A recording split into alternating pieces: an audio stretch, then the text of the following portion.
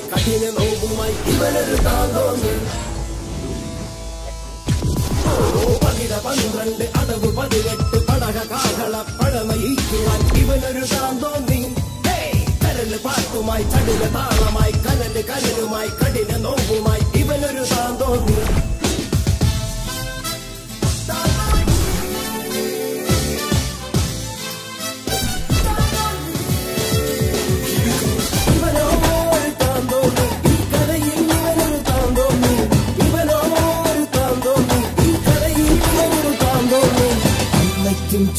കഥനവുമായി ഇവനൊരു താൻ തോന്നി അമ്മയ്ക്കും ചെറു കഥനവുമായി ഇവനൊരു താൻ ഓ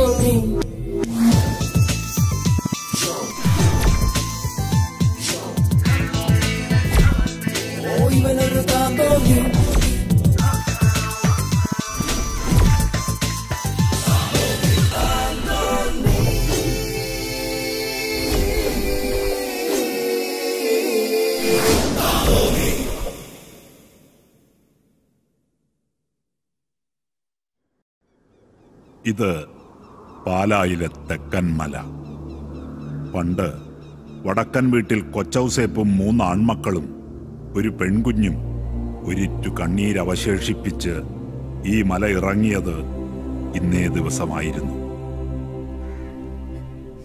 എന്റെ മറിയാമേ നമ്മുടെ മക്കളെയും കൊണ്ട് ഞാൻ ഈ മല ഇറങ്ങുക.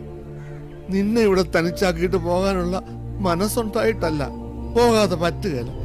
വിശന്ന് കരയുന്ന നമ്മുടെ മക്കൾക്ക് ഈ കൊച്ചൗസേപ്പിന്റെ കണ്ണീര് അന്നമാകുകയല്ലോ മുടങ്ങാതെ വരും.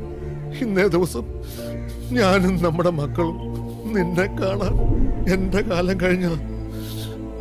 ഇവർ വരും. നമ്മുടെ മക്കൾ.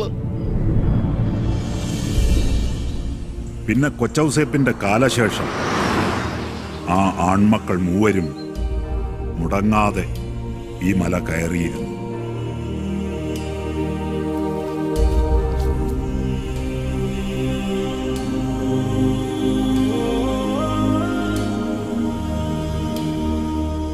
കൊച്ചൗസേപ്പിന്റെ കഠിനാധ്വാനവും കണ്ണീരും. പിന്നെ നിങ്ങളെ മൂന്ന് ആമകളുടെ ഒത്തൊരുമയും പ്രയത്നവും അതിൽ നിന്നുണ്ടായ സ്വത്തും സമ്പാദ്യവും സ്വന്തമാക്കാൻ നന്നായി സ്നേഹിച്ചു കഴിഞ്ഞ നിങ്ങളുടെ മക്കൾ അന്യോന്യം കലയിക്കുന്നു അതും വടക്കം വീട്ടിൽ തറവാട്ടിൽ. എന്നതാ കുര്യച്ച താനീ പറയുന്നത്? കണ്ടത് സ്വപ്നമാണെങ്കിലും അത് തന്നെ ആവർത്തിച്ച് ആവർത്തിച്ച് കണ്ടപ്പോ ഉള്ളിലൊരു പേടി. നാളെ ആ തറവാട്ടുമുറ്റത്ത് കണ്ട ആ സ്വപ്നം യാഥാർത്ഥ്യമായാൽ ആ കല്ലറയിൽ കിടക്കുന്ന അപ്പന്റെ അമ്മയുടെ മുന്നിൽ ഞങ്ങൾ ഈ മക്കൾ തോറ്റുപോകു വച്ചോ എന്റെ അച്ചോ ഇതായി ചേട്ടായിയുടെ കുഴപ്പം. ചുമ്മാ മനുഷ്യനെ പഠിപ്പിക്കാൻ ഇതാ പണ്ടുള്ള കാരണവന്മാര് പറഞ്ഞ് കിടക്കുന്നതിന് പ്രാർത്ഥിച്ചിട്ട് കിടക്കണമെന്ന്. ഇങ്ങനെ വിഷമിക്കേണ്ട കാര്യമൊന്നും ഇല്ലെന്ന് ഞാൻ ഈ ചേട്ടനോട് പറഞ്ഞാണ് എന്റെ അച്ചോ. ഇനി എന്നെ അന്ന് അച്ഛനങ്ങ് തീരുമാനിച്ചേക്ക്? കളക്ടറും പോലീസും മന്ത്രിയും ഒക്കെയായി നന്നായി ജീവിക്കുന്ന ഞങ്ങളുടെ മക്കൾക്ക് കുടുംബസ്വത്ത് വിധിച്ചു കിട്ടിയിട്ട് വേണ്ടാന്നറിയാമല്ലോ പക്ഷേ കാലം അത്ര നന്നല്ല. ഇപ്പോഴത്തെ മനുഷ്യർ നെട്ടോട്ട് ഓടുന്നത് സ്നേഹിച്ച് ജീവിക്കാനല്ല. തമ്മിൽ തല്ലാനും തല്ലിക്കാനുമാ. ഞങ്ങൾക്ക് മൂന്ന് പേർക്കും കത്രീനയ്ക്കും ആ തറവാട്ട് വീടും പിന്നെ ഈ കുടുംബക്കല്ലറയും അത് മതി ധാരാളം. അപ്പന്റെ കഷ്ടപ്പാടും ഞങ്ങൾ മക്കളുടെ വളർച്ചയെല്ലാം നേരിട്ട് കണ്ടിട്ടുള്ള അച്ഛനോട് പറഞ്ഞിട്ടാവാമെന്ന് കരുതി. ഇക്കാര്യത്തിൽ കത്രീനയുടെ തീരുമാനം ചോദിച്ചു. ഏതു നേരവും കണ്ണീരും പ്രാർത്ഥനയുമായി കഴിയുന്ന അവരുടെ ജീവിതം തന്നെ തെറ്റായ ഒരു തീരുമാനത്തിന്റെ ബാക്കിയാണല്ലോ. അവൾക്ക് പിന്നെ പ്രത്യേകിച്ച് കർത്താവിന്റെ ഇഷ്ടാനിഷ്ടങ്ങൾ എന്നാന്ന് നമ്മൾ മനുഷ്യർക്ക് അറിയലല്ലോ. എന്നതായാലും നല്ല മനസ്സുകൊണ്ടെടുത്തൊരു തീരുമാനമല്ലേ അതിന് കർത്താവിന്റെ അനുഗ്രഹം എപ്പോഴും ഉണ്ടാവും. മനസ്സുകൊണ്ട് ഞാനും പ്രാർത്ഥിച്ചോളാം. വടക്കൻ വീട്ടിൽ തറവാട്. തളിപ്പറമ്പ് ദേശത്ത് പത്ത് ഏക്കർ പുരയിടത്തിലെ കുടുംബ വീട്. അഞ്ഞൂറ് ഏക്കർ വിസ്തൃതിയിൽ വടക്കൻ വീട്ടിൽ തറവാട് വക എസ്റ്റേറ്റ് മറ്റ് കൃഷിയിടങ്ങൾ. അനുബന്ധ വ്യവസായങ്ങൾ കൂടാതെ V V builders hospital school hotel theatre shopping mall V V transport and exporting എന്നിങ്ങനെ ആയിരത്തി അഞ്ഞൂറ് കോടിയോളം ആസ്തി വരുന്ന സ്ഥാവര ജംഗമ വസ്തുക്കൾ. ഞാൻ ഈ പറഞ്ഞ ആയിരത്തി അഞ്ഞൂറ് കോടി ഏതാണ്ടൊരു തുകയാ. ഇപ്പോഴത്തെ മതിപ്പ് വില വെച്ച് അതിലേറെ വരും. എത്രയായാലും എല്ലാവർക്കും തുല്യമായിട്ട് വീതിക്കണം. തറവാട് വീടും പുരേടവും ഒഴിച്ച്. ഇന്നേക്ക് മൂന്നാം നാളത് നടക്കണം. പുറമേയുള്ള മക്കൾക്കൊക്കെ എത്താൻ അതൊക്കെ ഒരു ആവർത്തി വിളിച്ചു പറഞ്ഞിട്ടുണ്ട്. അവർക്ക് ഇങ്ങ് എത്തിക്കോളും. ഡോക്യുമെന്റ്സ് ഒക്കെ റെഡി ആണല്ലോ. ഓ. ആ സ്ഥിതിക്ക് ചേട്ടൻ പറഞ്ഞ തീയതിക്ക് തന്നെ കാര്യങ്ങൾ നടക്കട്ടെ? മൂന്നാം നാളെന്ന് പറഞ്ഞാൽ ഒന്നാം തീയതി വെള്ളിയാഴ്ച. നല്ല ദിവസമാ. നടക്കട്ടെ. വഴക്കും വക്കാണോ ഇല്ലാതെ വടക്കം വീട്ടിലെ ഭാഗം വെപ്പ് അന്ന് നടക്കട്ടെ.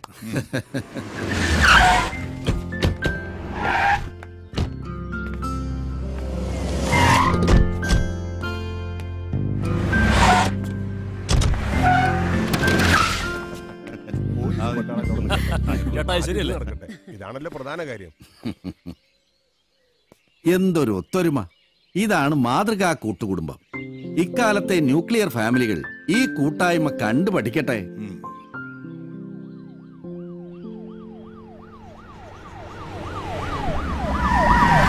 കറക്റ്റ്.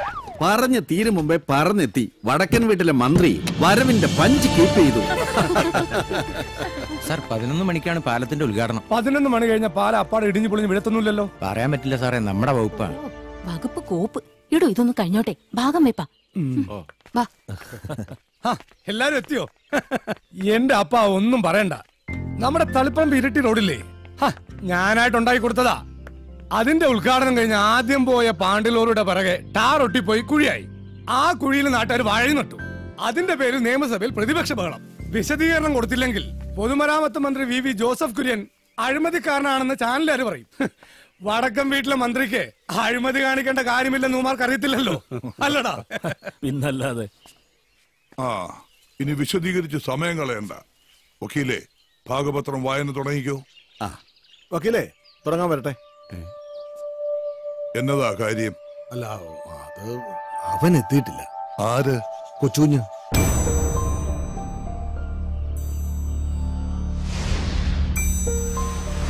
എത്തിയിട്ടില്ലെന്നോ? ഇന്നലെ രാത്രി തന്നെ അവൻ ഇങ്ങനെ എത്തുമെന്നാണല്ലോ അവൾ എന്നോട് പറഞ്ഞത്. അവനെ പ്രസവിച്ച തള്ള. കത്രീനെ!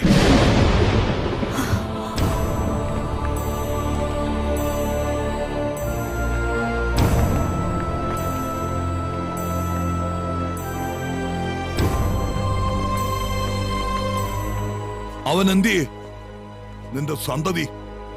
ഇന്നലെ ഞാൻ വിളിച്ചപ്പോ എന്നോട് പറഞ്ഞത് ബാംഗ്ലൂരിൽ നിന്ന് വന്നോണ്ടിരിക്കുക നേരം വെളുക്കുന്നതിന് മുൻപേ ഇങ്ങ് എത്തുന്ന. എന്നിട്ടെന്നാ? അവന് മാത്രം ഇതുവരെ നേരം വെളുത്തില്ലേ? അവൻ എത്തിയല്ല. ഞാനതൊരു ആയിരം തവണ പറഞ്ഞതാ. മനുഷ്യനെ ഒരുമാതിരി കൊരം കളിപ്പിക്കുന്ന പണിയാ. അത്രേ ഉള്ളൂ. ഇതൊന്നും അല്ലെന്നേ. മൂക്കറ്റം കള്ളും പോന്തി. ഏതവന്റെങ്കിലും പരിയം പുറത്ത് കയറി മൂടിപ്പോച്ച് കിടപ്പുണ്ടാവും. അപ്പന്ന എന്നെ കൊണ്ടൊന്നും പറയിപ്പിക്കണ്ട. നിർത്ത്. എനിക്കിപ്പോ അറിയണം ആ താന്തോന്നി എവിടെ ഉണ്ടെന്ന്. എനിക്കിപ്പോ അറിയണം. തങ്കച്ച വിളിക്കവനെ വടക്കൻ വീട്ടിൽ കൊച്ചുകുഞ്ഞിനെ വിളിക്കാൻ. വടക്കൻ വീട്ടിൽ കൊച്ചുകുഞ്ഞ് വടക്കൻ വീട്ടിൽ കൊച്ചുകുഞ്ഞ് വടക്കൻ വീട്ടിൽ കൊച്ചുകുഞ്ഞ്. ഞാനാന്ന്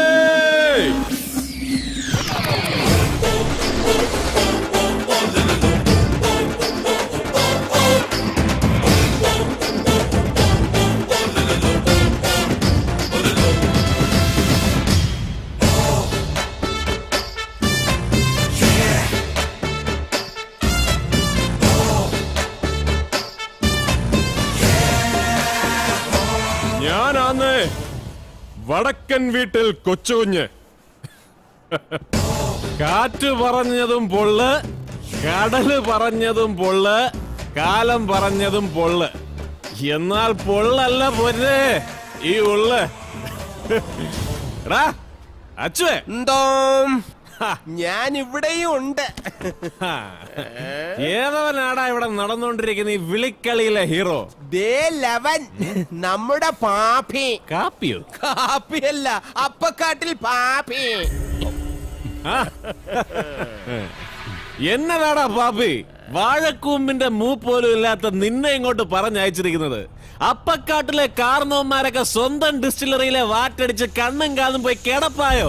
അയ്യോ അതല്ലെങ്കിലും പണ്ടും അങ്ങനെയാണല്ലോ ഫ്ലാഷ് ബാക്ക് എന്റെ വല്യപ്പൻ നേരും നെറിയുള്ള കള്ള് കച്ചവടക്കാരനായി നിവർന്നു നിന്ന സമയത്ത് അപ്പക്കാട്ടിലെ ഇവന്റെ അപ്പന്മാര് ആ ഡിസ്റ്റില്ലറിയിൽ നഞ്ച് കലർത്തി പത്ത് നാൽപ്പത് എണ്ണത്തിനെ കിടപ്പിലാക്കി തുടങ്ങിയതാ ഈ ബിസിനസ്. അങ്ങനെയുള്ള അപ്പക്കാട്ടിൽ നിന്ന് മുളച്ചു വരുന്ന ഇവൻ അങ്ങനെയാണ് ഹീറോ ആകുന്നത്? ഇവൻ വില്ലനല്ലേ? വില്ലൻ. അന്ന് നിന്റെ വല്യതന്തയുടെ ഒസ്യത്ത് പ്രകാരം നിർത്തിയതല്ലടാ നിന്റെ കാരണവന്മാരി കച്ചവടം. പിന്നെ എന്നാത്തിനാടാ നിന്നെ ഇപ്പൊ ഇങ്ങോട്ട് കെട്ടിയെടുത്തത്? എടാ അത് കാരണവന്മാര്. ഇത് വടക്കൻ വീട്ടിൽ കൊച്ചുകുഞ്ഞും മരിച്ചുപോയ എന്റെ വല്യപ്പൻ കൊച്ചൗസേപ്പൻ തമ്മിലുള്ള ഡയറക്ട് സാറ്റലൈറ്റ് കമ്മ്യൂണിക്കേഷൻ എന്റെ സാറന്മാരെ പറഞ്ഞ നിങ്ങൾ വിശ്വസിക്കുകയല്ല. പക്ഷെ ഇന്ന് രാവിലെ ദൂരദർശനിലെ സുപ്രഭാതം പരിപാടിയിൽ വടക്കൻ വീട്ടിൽ കൊച്ചൗസേപ്പ് നേരിട്ട് പ്രത്യക്ഷപ്പെട്ട് പറയാണ് മോനെ ഞാൻ നീ റേഞ്ച് വിട്ടേക്കല്ലടാ വിട്ടാ നിന്റെ വല്യപ്പൻ ഔട്ട് ഓഫ് റേഞ്ച് ആയി പോകും. മൂക്കറ്റം കള്ളം വലിച്ചു കയറ്റി വന്നിട്ട് ഇവിടെ കിടന്ന് തമാശിക്കല്ലേ? ഇത് ലേലം വിളിയാ. എന്റെ പൊന്നെ പാപ്പി നീ ഇവിടുന്ന് വിളിച്ചെടുക്കാൻ പോകുന്നത് പാൽപ്പായസം ഒന്നും അല്ലല്ലോ. നല്ല ഒന്നാം തരം കള്ളു തന്നെയല്ലേ? അതുകൊണ്ടാണ് കൊച്ചുന്ന് രാവിലെ രണ്ടെണ്ണം കീറിയേച്ച് കയറി വന്നത്. എന്നാലേ വിളിക്കാൻ ഒരു ഹരം വരുതുള്ളടാ.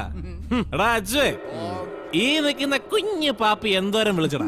രണ്ട്. എന്ന് വെച്ചാ? രണ്ട് കോണി. അത് കൊള്ളാലോടാ. എന്നാ പിന്നെ വടക്കൻ വീട്ടിൽ കൊച്ചുവിന്റെ വക ഇരിക്കട്ടെ ഒരു രണ്ടര. എന്ന് വെച്ചാ രണ്ട് കോടി അൻപത് ലക്ഷം. എന്നാ പറ്റി? ഓട്ടമുക്കാരനക്ക് ഗതിയില്ലാതെ മൂക്കറ്റം കള്ളും കയറ്റി തേരാപ്പാര നടക്കണ നിന്റെ കയ്യിൽ എവിടുന്നാടാ ഈ രണ്ടര കോലി? ഏ?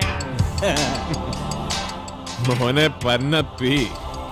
കൊച്ചുകുഞ്ഞ് വടക്കം വീട്ടിൽ തറവാട്ടിൽ. ഞങ്ങളുടെ പുറമ്പോക്ക് ഭൂമിയിൽ ചുമ്മാ മുളച്ചു വെക്കുന്ന പോതപ്പുല്ല് ചെത്തി വിറ്റാ കിട്ടും. നീ പറഞ്ഞ കോലി. വിടുവായത്തം പറഞ്ഞു വെക്കാതെ കേറ്റി വിളിയടാ. മൂന്ന്. എന്നതാ? മൂന്ന് കോടി. അത് ശരി. എന്നാ പിന്നെ ഇനി വേറെ ഒന്നും നോക്കാനില്ല. അഞ്ച്. ഓഫീസർക്ക് മനസ്സിലായില്ലാന്ന് തോന്നുന്നു. അഞ്ച് കോടി. ഐ മീൻ ഫൈവ് കോഡ്സ് എടാ അച്ഛ അഞ്ചിനൊരു പഞ്ച് പോരല്ലോടാ. അയ്യോ പാവം. എന്നാൽ കേട്ടു വിളിച്ചോട്ടെ കൊച്ചുകുഞ്ഞ്. അഞ്ചു കോടി അൻപത് പൈസ. ഈ ശബ്ദം ഞാൻ എവിടെയോ കേട്ടിട്ടുണ്ടല്ലോ. ആ, എന്നാ പറഞ്ഞടാ പാപ്പി. അതെന്നാ പോക്കടാ കോപ്പേ? ഈ കൊച്ചുകുഞ്ഞിനോട് ജയിക്കാൻ ഒരു അമ്പത് പൈസ ഇല്ലേ നിന്റെ അപ്പന്റെ കാട്ടിൽ? ആണാണെ കേറ്റി വിളിയടാ. അഞ്ചു കോടി നൂറ് പൈസ അതല്ലെങ്കിൽ ഞാൻ ഇപ്പൊ വിളിക്കും. നിന്റെ അപ്പൻ അപ്പക്കാട്ടിൽ കുട്ടപ്പന്റെ അപ്പൻ കറിയാച്ചന്റെ അപ്പന് വിളിക്കും. പോടാ. സൈലൻസ്. ലേലം ഉറപ്പിക്കാൻ പോകുന്നു. വടക്കൻ വീട്ടിൽ കൊച്ചുകുഞ്ഞ് അഞ്ചു കോടി അമ്പത് പൈസ ഒരു വട്ടം രണ്ടു വട്ടം മൂന്ന് വട്ടം. എടാ ഫിലിപ്പോസേ എന്നാ ഫിഫ്റ്റി പൈസ. ബാക്കി ഫൈവ് കോടി നീ അങ്ങിട്ടേക്ക്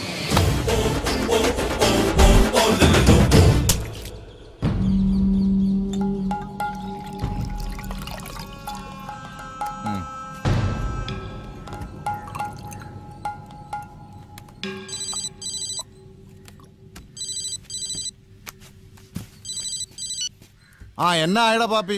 ചേട്ടായി അത് നമ്മുടെ കയ്യിൽ നിന്ന് പോയി.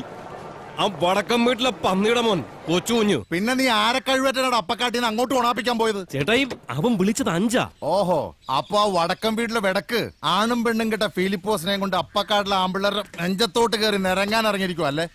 അവൻ ആ കയ്യും കാലും വെച്ച് എങ്ങോട്ടാടോ ഉവേ ഒരുമ്പെട്ട് ഇറങ്ങിയത്? നമ്മുടെ റൂട്ടിൽ തന്നെ. ആ എന്നാ പിന്നെ നീ അങ്ങ് വിട്ടേര്. ഇത് ചേട്ടായും കൊച്ചേട്ടന്മാരും നോക്കിക്കോളാം. വണ്ടി ഇടറാ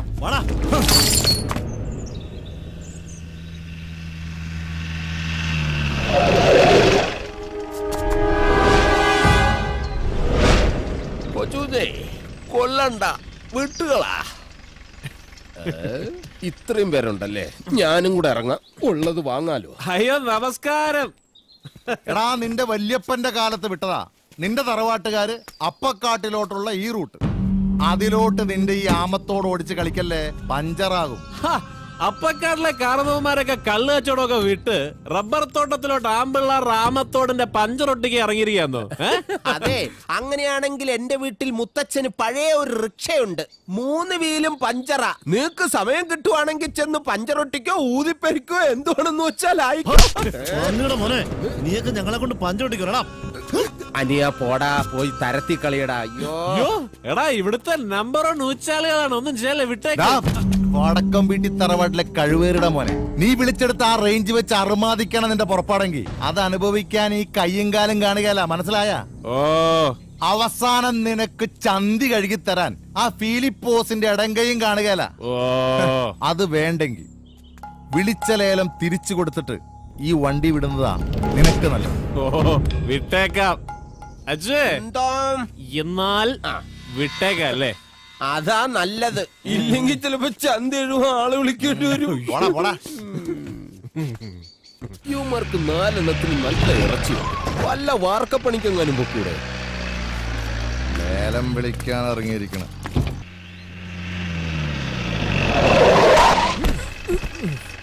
എടാ അപ്പക്കാട്ടിലെ അലവലാതി അവസാനം അടിച്ച ഡയലോഗിൽ ഒരു ഭീഷണി ഉണ്ടായിരുന്നു. ശരിക്കും. ആദ്യം മുതലേ അതുള്ളതാ. എന്നാൽ മാറ്റടാ ഗിയർ മാറ്റി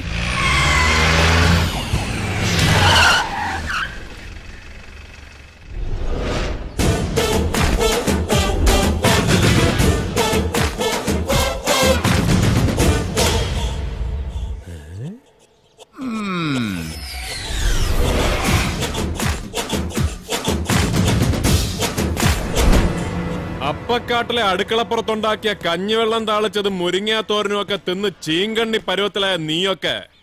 വടക്കം വീട്ടിലുണ്ടായ ഈ താന്തോന്നിയുടെ കൈയും കാലും വെട്ടി രോമം വടിക്കും. അല്ലടാ എങ്കി വെട്ടി വടിക്കട കഴിവറണ മോനെ.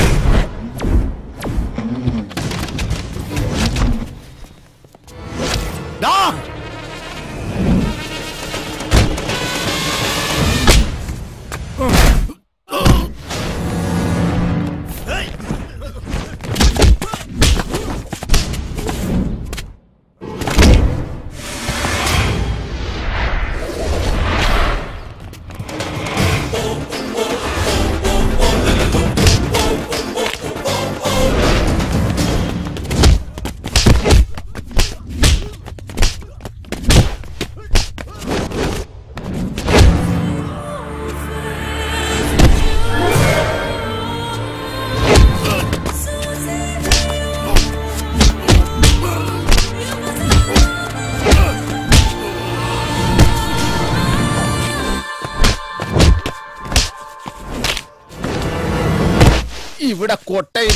നിന്റെയൊക്കെ ഭാഗ്യം. ഇല്ലെങ്കിൽ കാണിച്ചു തരാറുന്നതാ.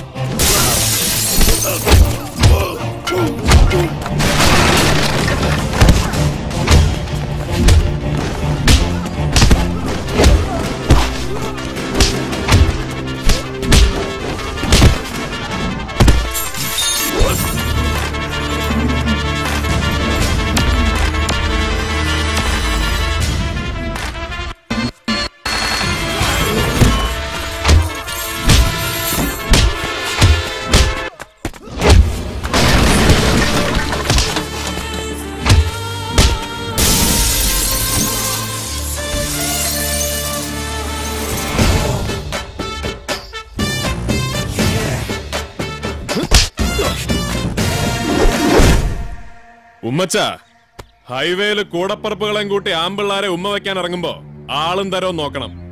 അതല്ലേ എടവകപ്പള്ളിയിലെ കുരിശുമണി ഒറ്റേമ്പെട്ട അടിക്കും.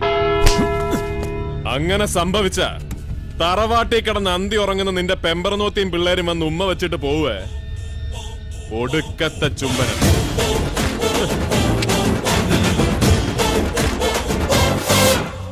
വടക്കൻ വീട്ടിൽ കൊച്ചുകുഞ്ഞിനോട് അടക്കാൻ നിക്കല്ലേ ഒടച്ച് കൈ തരും ഞാൻ.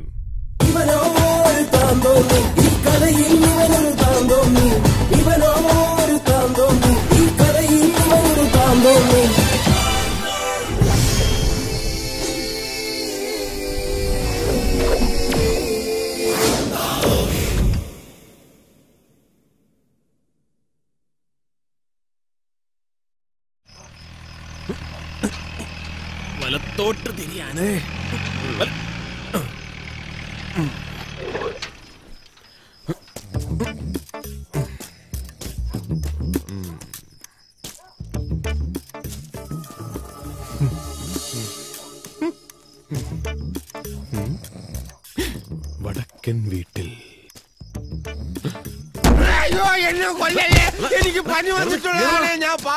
ഞാനടാ ഞാനാ കൊച്ചുഞ്ഞ് നീയായിരുന്ന ഞാൻ കരുതി അവന്മാര് വീണ്ടും വന്ന് എനിക്ക് ഇടിയെന്നു വടക്കൻ വീട്ടിലെ വിഹിതം പറ്റി ഞണ്ണാൻ വന്ന അണ്ണന്മാരൊക്കെ ചന്തയിലെ പൊടിയും തട്ടി സ്ഥലം വിട്ടു. വിട്ടോ? വിട്ടു. മഹാഭാഗ്യം. എന്നതായാലും നീയും കൂടെ വാ എന്തിന്? എടാ കർത്താവ് അഞ്ചപ്പം അയ്യായിരം പേർക്ക് വീതിച്ചു കൊടുത്ത മഹാനാണടാ. അത് കർത്താവല്ലേ അതിന് അങ്ങേര് കൂടെ വന്നാ പോരെ. ഞാൻ എന്തിനാ വരുന്നത് അതല്ലടാ. അവിടുന്ന് ഇപ്പൊ എന്നതാണേലും കിട്ടുന്നത്? നമുക്ക് രണ്ടുപേർ കൂടി അങ്ങ് വീതിക്കാം. അതിന് കർത്താവ് വീതിച്ചത് അപ്പ നിന്റെ അമ്മാവന്മാര് വീതിക്കുന്നത് അടി അടി. ആ പങ്ക് ഈ ബോഡി വീതിച്ചെടുത്താൽ ഇനിയും തോൽവികൾ വാങ്ങാൻ ചന്തുവിന്റെ ജീവിതം പിന്നെയും ബാക്കി കാണില്ല മക്കളെ. ഞാൻ ജീവിച്ചു പോട്ട്. നീ കയറി വീട്ടിൽ പോടാ മക്കളെ. ആണായി പിറന്നവരാരും ചന്തുവിനെ തോൽപ്പിച്ചിട്ടില്ല. ചന്തുവിനെ ഇനിയും തോൽപ്പിക്കാൻ നിന്നാൽ എന്റെ ലാസ്റ്റ് ബസ് അതുകൊണ്ട് ഞാൻ പോണേ. വല്യമ്മാവന്റെ ബെൻസ്. എന്നോട് ക്ഷമിക്കൂ വലിയ ബെൻസേ. പാവ അമ്മച്ചി. വാതിലടച്ചിട്ടില്ല. ചോറിൽ വെള്ളം ഒഴിച്ചോ ആവോ?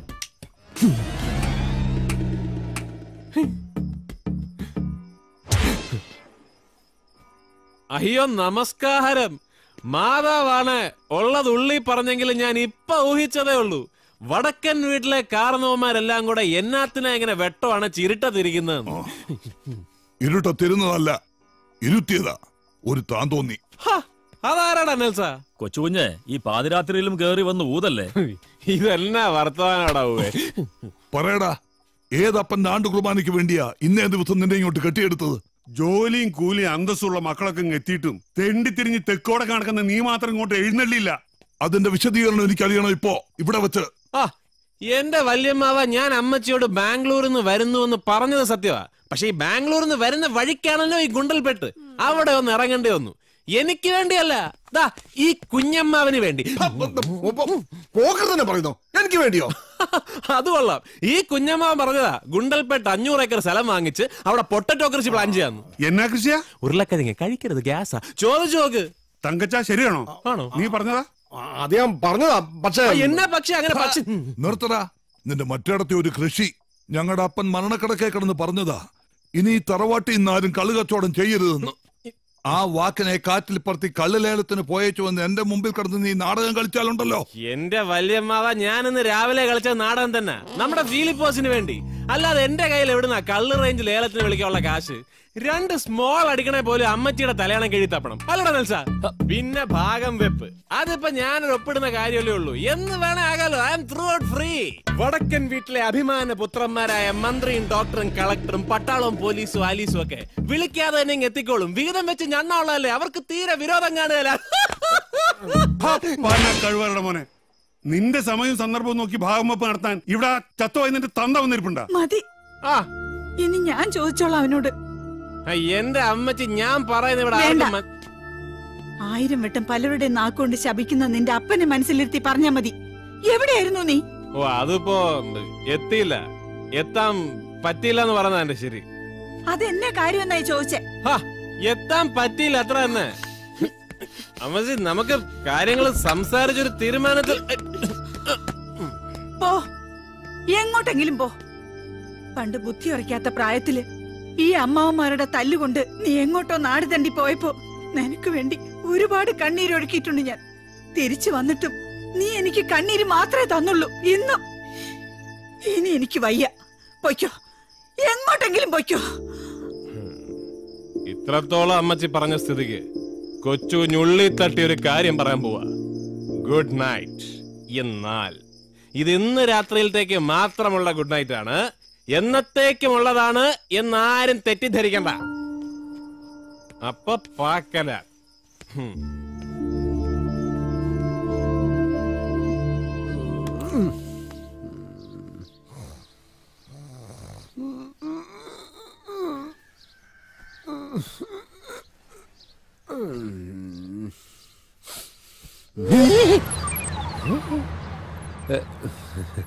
ഗുഡ് മോർണിംഗ് അമ്മേ പൂമുഖത്തേക്ക് വൺ ബ്ലാക്ക് ടീയാ ആ, എന്റെ മോനെ. ചായപ്പൊടിന്റെ വെള്ളം എന്ന് പറയടാ തേണ്ടി. പഞ്ചസാര കഴിഞ്ഞിട്ട് നാല് ദിവസമായി. പൂമുഖത്താരാടാ നിന്റെ അച്ഛൻ വന്നിട്ടുണ്ടോ? എന്റെ അമ്മയാണ് അത്ര അമ്മ. അപ്പൊ മരിച്ചു പോയത് എന്റെ അച്ഛനല്ലേ? ശരിയായിരിക്കും. ഞാനാണെങ്കിൽ ലേശം വെളുത്തിട്ട. അച്ഛനാണെങ്കിൽ പ്യൂർ ബ്ലാക്കും അമ്മേ ബ്ലാക്ക് ടീ ഇല്ലെങ്കിൽ വേണ്ട. പഴയ പോലെ പഴകഞ്ഞു വെള്ളം തന്നെ എടുത്തോ. നായിന്റെ മോനെ എന്നാ തുടക്കം. മിക്കവാറും ഇന്നും നായി നക്കും. എന്റെ ജീവിതം. ആ രാവിലെ തന്നെ പത്രം വന്നു. ഭാഗ്യം എടുത്തു വച്ചേക്ക. എന്തേലും പൊതിഞ്ഞോണ്ട് പോവാ. ചരമക്കുളത്തിന്റെ അങ്ങാടി നിലവാരം നോക്കാം. ശ്ശെ, ഇന്ന് ഇത്രേ ഉള്ളൂ. ലൈവാ? ഇതെപ്പോഴെത്തി? ഈശ്വര ആരെങ്കിലും കൊന്നിട്ടതാണോ എന്തോ? ആവു ഔ ചത്തിട്ടില്ല. ഡാ വടക്കം വീടാടാ എഴുന്നറ ആ നീ പോയില്ലടാ. പോയി. പിന്നെ എന്നതാടാ ഈ കൊച്ചു വെളുപ്പാങ്കാലത്ത്. എടേ അതിനിത് വടക്കം വീടല്ല ഇത് ഒടക്കം വീടാ. ഐ മീൻ എന്റെ വീട്. എടാ നാറിയേ. ഇന്ന പിടി എനിക്ക് വേറെ പണിയുണ്ട്. എന്റെ പാർശ്ശിനിക്കടവ് മുത്തപ്പ ഇതാര്? വടക്കം വീട്ടിലെ കൊച്ചു തമ്പുരാനോ? ഇന്നലെ രാത്രിയും ഗുഡ് നൈറ്റ് പറഞ്ഞൂല്ലേ തറവാട്ടെന്ന്? ആ ഏതായാലും ബ്ലാക്ക് ടീ വേസ്റ്റ് ആയില്ല. ഈ തൊണ്ടിക്ക് വേണ്ടി ഉണ്ടാക്കിയതാ. ആ, ഇതങ്ങ് പിടിച്ചാട്ടെ. സന്തോഷം. ആഹാ. രാത്രി കിടക്കാൻ നേരം ചൂടാകാൻ കഴിക്കുന്നതും ഇതേ കളർ. കാലത്തെഴുന്നേറ്റ് കഴിഞ്ഞാൽ ചൂടോടെ കഴിക്കുന്നതും ഇതേ കളർ. ഇതാണമ്മേ കളർഫുൾ എന്ന് പറയുന്നത്. കാറ്റ് പറഞ്ഞതും പൊള്ള് കടൽ പറഞ്ഞതും പൊള്ള് കാലം പറഞ്ഞതും പൊള്ള. ഉൾക്കാടിച്ച ബാറി നടിച്ചതും പൊള്ള. എടാ അങ്ങനെ അങ്ങനൊരു വരി ഇല്ലല്ലോടാ അതിൽ. അടിച്ചതൊന്നും ആയില്ല എന്ന് പറയായിരുന്നു. ഇറങ്ങി വന്ന് ഊതറ. അയ്യേ സാർ എന്തോ സാർ? എനിക്ക് അങ്ങനെ വൃത്തിയുടെ ശീലമില്ല. എന്നാൽ ദ ലവൻ. ക്ഷമിക്കണം എനിക്കങ്ങനെ ഊതി പരിചയമില്ല. പക്ഷെ ഞാൻ ഇതിനങ്ങനെ പ്രത്യേകിച്ച് പരിചയമൊന്നും വേണ്ട. ഇതിലേക്ക് ഊതിയാ മതി. എന്നതിനാ സാറേ ഊതുന്നത്? എന്റെ അമ്മായിയമ്മയുടെ പുകയില്ലാത്ത അടുപ്പിൽ പാൽ കാച്ചാൻ വേണ്ടിട്ടാടാ ഊതാൻ പറഞ്ഞ. ആലുവ അടുപ്പെന്ന സാറ് ഉദ്ദേശിച്ചത്. ഓ പകയില്ലാത്ത അടുപ്പ്. പാതിരാത്രിയിൽ മൂക്കറ്റം കള്ളും മോന്തി വണ്ടി ഓടിച്ചും പറഞ്ഞിട്ട് അത് ചെക്ക് ചെയ്യാൻ വന്ന പോലീസുകാരനെ ഒരുമാതിരി ആക്കുന്നോടാ. അതാണോ കാര്യം? അതൊക്കെ നേരത്തെ ചോദിച്ചാ പോരായിരുന്നു. എന്റെ പൊന്ന് സാറെ ബിവറേജസ് കോർപ്പറേഷന്റെ മുമ്പിൽ പോയി കഷ്ടപ്പെട്ട് ക്യൂ നിന്നാലേ സാധനം കിട്ടുന്നത്. എന്നാ കിട്ടിയ സാധനം വീട്ടിലിരുന്ന് സമാധാനം അടിക്കാന്ന് വിചാരിച്ച വീട്ടുകാരെ സമ്മതിക്കല വല്ല പാടത്തോ വരമ്പത്തോ ഇരുന്ന് ഇതങ്ങ് കാലിയാക്കാന്ന് വിചാരിച്ച ദേണ്ട ഉടനെ സാറുമാരെ ടോർച്ച് അടിച്ചോണ്ടുള്ള വരത് ഇല്ലാത്ത കാശും കൊടുത്ത് ബാറിൽ നിന്നൊരു മൂന്നെണ്ണ അടിച്ച് പുറത്തോട്ടിറങ്ങിയാലോ? ദേ അടക്കുന്ന നട റോഡിലെ സാറന്മാരുടെ ഒരു ഊതിക്കൽ. സാറിന്റെ മോനെ. സാറേ സർക്കാരിന് വർഷാവർഷം ഏറ്റവും കൂടുതൽ നികുതി കിട്ടുന്നത് നമ്മളിപ്പോൾ കഴിച്ചിരിക്കുന്ന ഇതേ മദ്യം വിറ്റ ടാക്സിൽ നിന്നാണ്. ശരിക്കും. ഓഹോ അങ്ങനെയാണല്ലേ? ഇത് അങ്ങനെയല്ലേ നിന്ന് ചിലക്കാതെ സ്റ്റേഷനിലേക്ക് വണ്ടി എടുക്കടാ. എങ്ങനെ? വണ്ടി എടുക്കാൻ. ആ, അങ്ങനെ. ഡാ, സാറ് പറഞ്ഞല്ലടാ പാവല്ലടാ മുന്തുരി തല കെട്ടി വണ്ടി ഒന്ന് ഇട്. സാറുമാരെല്ലാരും കൂടെ ഒന്ന് സഹായിക്കണം കേട്ടോ. അല്ല ഞങ്ങൾ രണ്ടുപേരും കൂടെ മാത്രം പൊക്കിയത് പൊങ്ങുകയല്ല സാറ് മോഡൽ തൊള്ളായിരത്തി അറുപത്തിനാല് അല്ലാതെ ഇപ്പോഴത്തെ ഡൂഗിളി നയൻ വൺ സിക്സ് അല്ല? പൊന്നു മോനെ നീ ആരാന്നടാ നിന്റെ വിചാരം? ഞാൻ ആരാന്നാടാ എന്റെ വിചാരം? അടി. അപ്പൊ അതറിയില്ലേ? വടക്കം വീട്ടിൽ കൊച്ചുകുഞ്ഞ് ആ സാറ് ഇവിടെ പുതിയതാണല്ലേ? എന്റെ പൊന്ന് സാറേ. സാറൊക്കെ കണ്ട നാല് തവണ സല്യൂട്ട് അടിക്കുന്ന S P സാറുണ്ടല്ലോ. Polakkode S P Alex Thomas. അദ്ദേഹത്തിന്റെ അന്യന. തെറ്റി. അദ്ദേഹം ഇദ്ദേഹത്തിന്റെ ജ്യേഷ്ഠനാ. എന്നാൽ പൊതുവരാവത്ത് മന്ത്രി മിസ്റ്റർ ജോസഫ് കുര്യനും നിർഭാഗ്യവശാൽ എന്റെ ചേട്ടനാണ് പിന്നെ കളക്ടർ അഡ്വക്കേറ്റ് അങ്ങനെ കുറെ പേര് വേറെ. അതുകൊണ്ട് എന്റെ പൊന്ന് സാറേ ശരിക്കും അങ്ങോട്ടും ഇങ്ങോട്ടും കര ഇടപാട് നടത്തുന്നതിന് മുമ്പ് ഇപ്പൊ നമുക്ക് സമാധാനമായി പിരിയാം. ഇവനിങ്ങനെ എല്ലാം കെട്ടുപോയെങ്കിലും തറവാട്ടിലുള്ളവരൊക്കെ കൊമ്പത്തുള്ളവരാ. കൊള്ളാം. കൊമ്പത്തുള്ള ചേട്ടന്മാരുടെ പേരും പറഞ്ഞ് നീ ഇവിടെ മേയാൻ ഇറങ്ങിയിരിക്കല്ലേ? പോയില്ലേ? ഇന്നത്തേക്ക് ഒരു ദിവസം. നാളെ നേരം വെളുക്കുമ്പോ അവിടെ സ്റ്റേഷനിലുണ്ടായിരിക്കണം. ഉണ്ടായിരിക്കണം ഉണ്ടാക്കിക്കോളാമേ. അതല്ല തറവാടിന്റെ വലിപ്പം പറഞ്ഞ് കുടുംബത്തിരിക്കാനാണ് നിന്റെ ഉദ്ദേശമെങ്കിൽ. ഏത് മറ്റേടത്തെ ചേട്ടന്മാരുടെ അനിയനാണെന്നും ഞാൻ നോക്കില്ല. കുടുംബത്ത് കയറി വന്ന് കൂമ്പിടിച്ച് കളിക്കും ഞാൻ. കേട്ടടാ? നായിന്റെ മോനെ. ആ കേട്ടേ. ആർ ഗണേശൻ സാറേ. വീട്ടിൽ പോടാ. പോയിക്കോളാതെ. അച്ഛേ എന്നാൽ ശരിക്കും.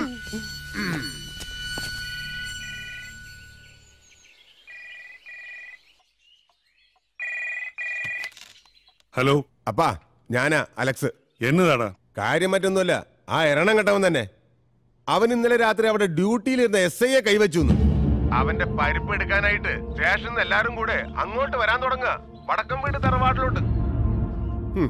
എസ് പി അലക്സ് തോമസിന്റെ അനിയനെ എസ് ഐയെ കൈകാര്യം ചെയ്തതിന്റെ പേരിൽ വീട്ടിൽ കയറി പൊക്കിയുന്ന ഡിപ്പാർട്ട്മെന്റിൽ അതിന്റെ റിസൾട്ട് വരിക ഞാൻ എന്നാ വേണമെന്ന് അപ്പം പറ. ഈ തൊപ്പി ഉരി വെച്ച് തറവാട്ട് പറമ്പിൽ കിളക്കാൻ ഇറങ്ങണോ? നീ ഒന്നും വേണ്ട. അതെന്നെ വേണമെന്ന് ഞാൻ കാണിച്ചു തരാം. ഈ കോണിപ്പടി കിട്ടിയിരുന്നെങ്കിൽ പുത്തൂര് രമണിയുടെ വീട്ടിലെ മതിൽ ചരമായിരുന്നു കറക്റ്റ് പൊക്ക.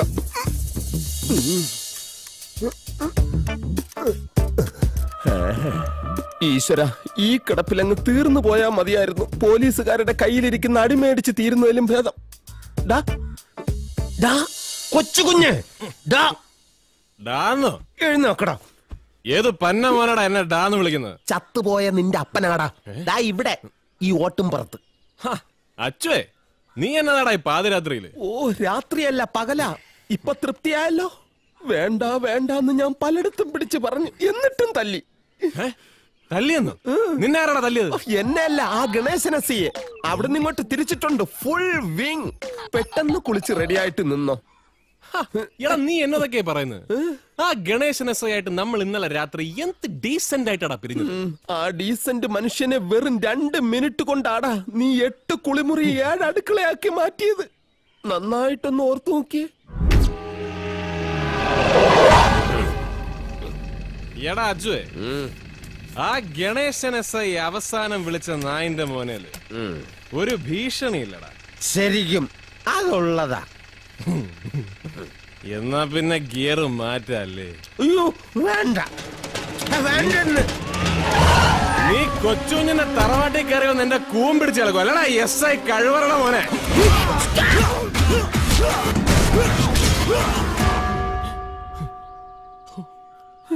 ശരിക്കും ഇതാ അവിടെ സംഭവിച്ചത്. ഈ ഓടിന്റെ പുറത്തിരുന്ന് ഇനിയും ഞാൻ വിശദീകരിക്കണോ? ഏ? വാ ഏ? ശ്ശോ, എന്നതല്ലേ? ഇതിങ്ങനെ പോയാ എന്നതാവുമല്ലേ? വേണ്ട. ഞാൻ ഇനി കള്ളുകൂടി നിർത്താൻ തീരുമാനിച്ചതാ. ശരിക്കും? ആളെ ആൾക്കാരെ മറന്നിട്ട് നമുക്കിനി ഒരു പെഗ് പോലും അടിക്കണ്ട. ആ അത് പോട്ടെ. ഈ നടന്ന സംഭവത്തിലോട്ട് ഞാനിപ്പോ എന്നതാ വേണ്ടത്? വേണ്ടതെന്നതാന്ന് ഞാൻ പറയാം.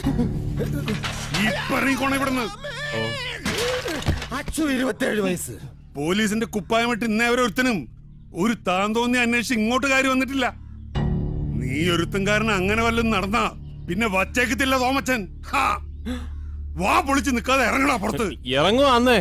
എന്നാലും അമ്മാവ കൊച്ചുഞ്ഞിങ്ങനെ കക്കൂസി പോലും പോവാതെ ഇതേപടി പോലീസ് സ്റ്റേഷനിലോട്ട് കെട്ടിയെടുത്ത ആ ചീത്തപ്പേരും ഇതേ തറവാട്ടിന് തന്നെ അല്ലയോ ഹാ, അധിക പ്രസംഗി. ഇനി നിന്റെ ആസനം കഴിയാൻ പോലീസ് എന്റെ പൊന്ന് സാറേ ഞാനൊന്ന് പറഞ്ഞോട്ടെ. ഇനി ഒന്ന് പറയുന്നത് പോലീസ് സ്റ്റേഷനിൽ അഹങ്കാരമായി പോവെങ്കിൽ ഒരു അരയെങ്കിലും പറഞ്ഞോട്ടെ. ഒരു ഹാഫ്. അറിയില്ല. ഒരു അണുമണി നിന്റെ നോക്കണങ്ങിയ അന്നെ മോനെ എന്റെ തനി സ്വരൂപം നീ ഇന്ന് കാണും. നോക്കി നിൽക്കാതെ ഇടിച്ചു കലക്കണം.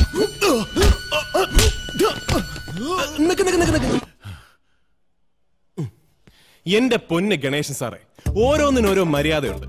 സാറിനെ ഞാൻ ഇന്നലെ ചവിട്ടിക്കൂട്ടിയതാണ് വിഷയമെങ്കിൽ അതിന് സാർ എന്നെ ചവിട്ടിക്കൂട്ടണം. അതാണ് അതിന്റെ ശരി. അതിനൊക്കെ അപ്പുറത്തേക്ക് സാർ ഒരു മഹാസത്യം മനസ്സിലാക്കണം. സാർ ഇപ്പോൾ കൈവയ്ക്കാൻ പോകുന്നത് ആരുടെ ശരീരത്തിലാണെന്നുള്ള സത്യം. സാറൊക്കെ കണ്ട പാതി കാണാത്ത പാതി ചടപടാന്ന് സല്യൂട്ട് ചെയ്യുന്ന പാലക്കാട് എസ് പി ആ കിടക്കണം നായിന്റെ മോനെ നിന്റെ ഈ പുന്നാര ചേട്ടന്മാര് പല ആവർത്തി എന്നെ വിളിച്ചു പറഞ്ഞു നിന്നെ ഒന്ന് ഇടിച്ചു കലക്കി പരുവപ്പെടുത്തി എടുക്കാൻ അതാ ആ സാറുമാരുടെ ഓർഡർ തറവാടിന്റെ പേരും പറഞ്ഞ് തറയായിട്ട് അങ്ങോട്ട് വാഴാമെന്ന് കരുതിയോടാ പുല്ലേ ഉത്തരവ് മോളിന ചവിട്ടി കൂട്ടാ ഈ പന്നീനെ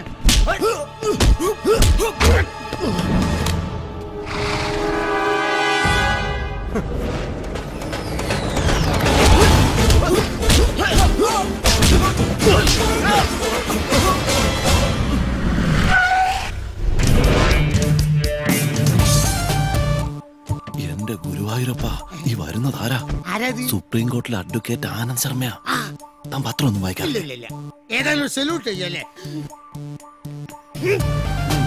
Good morning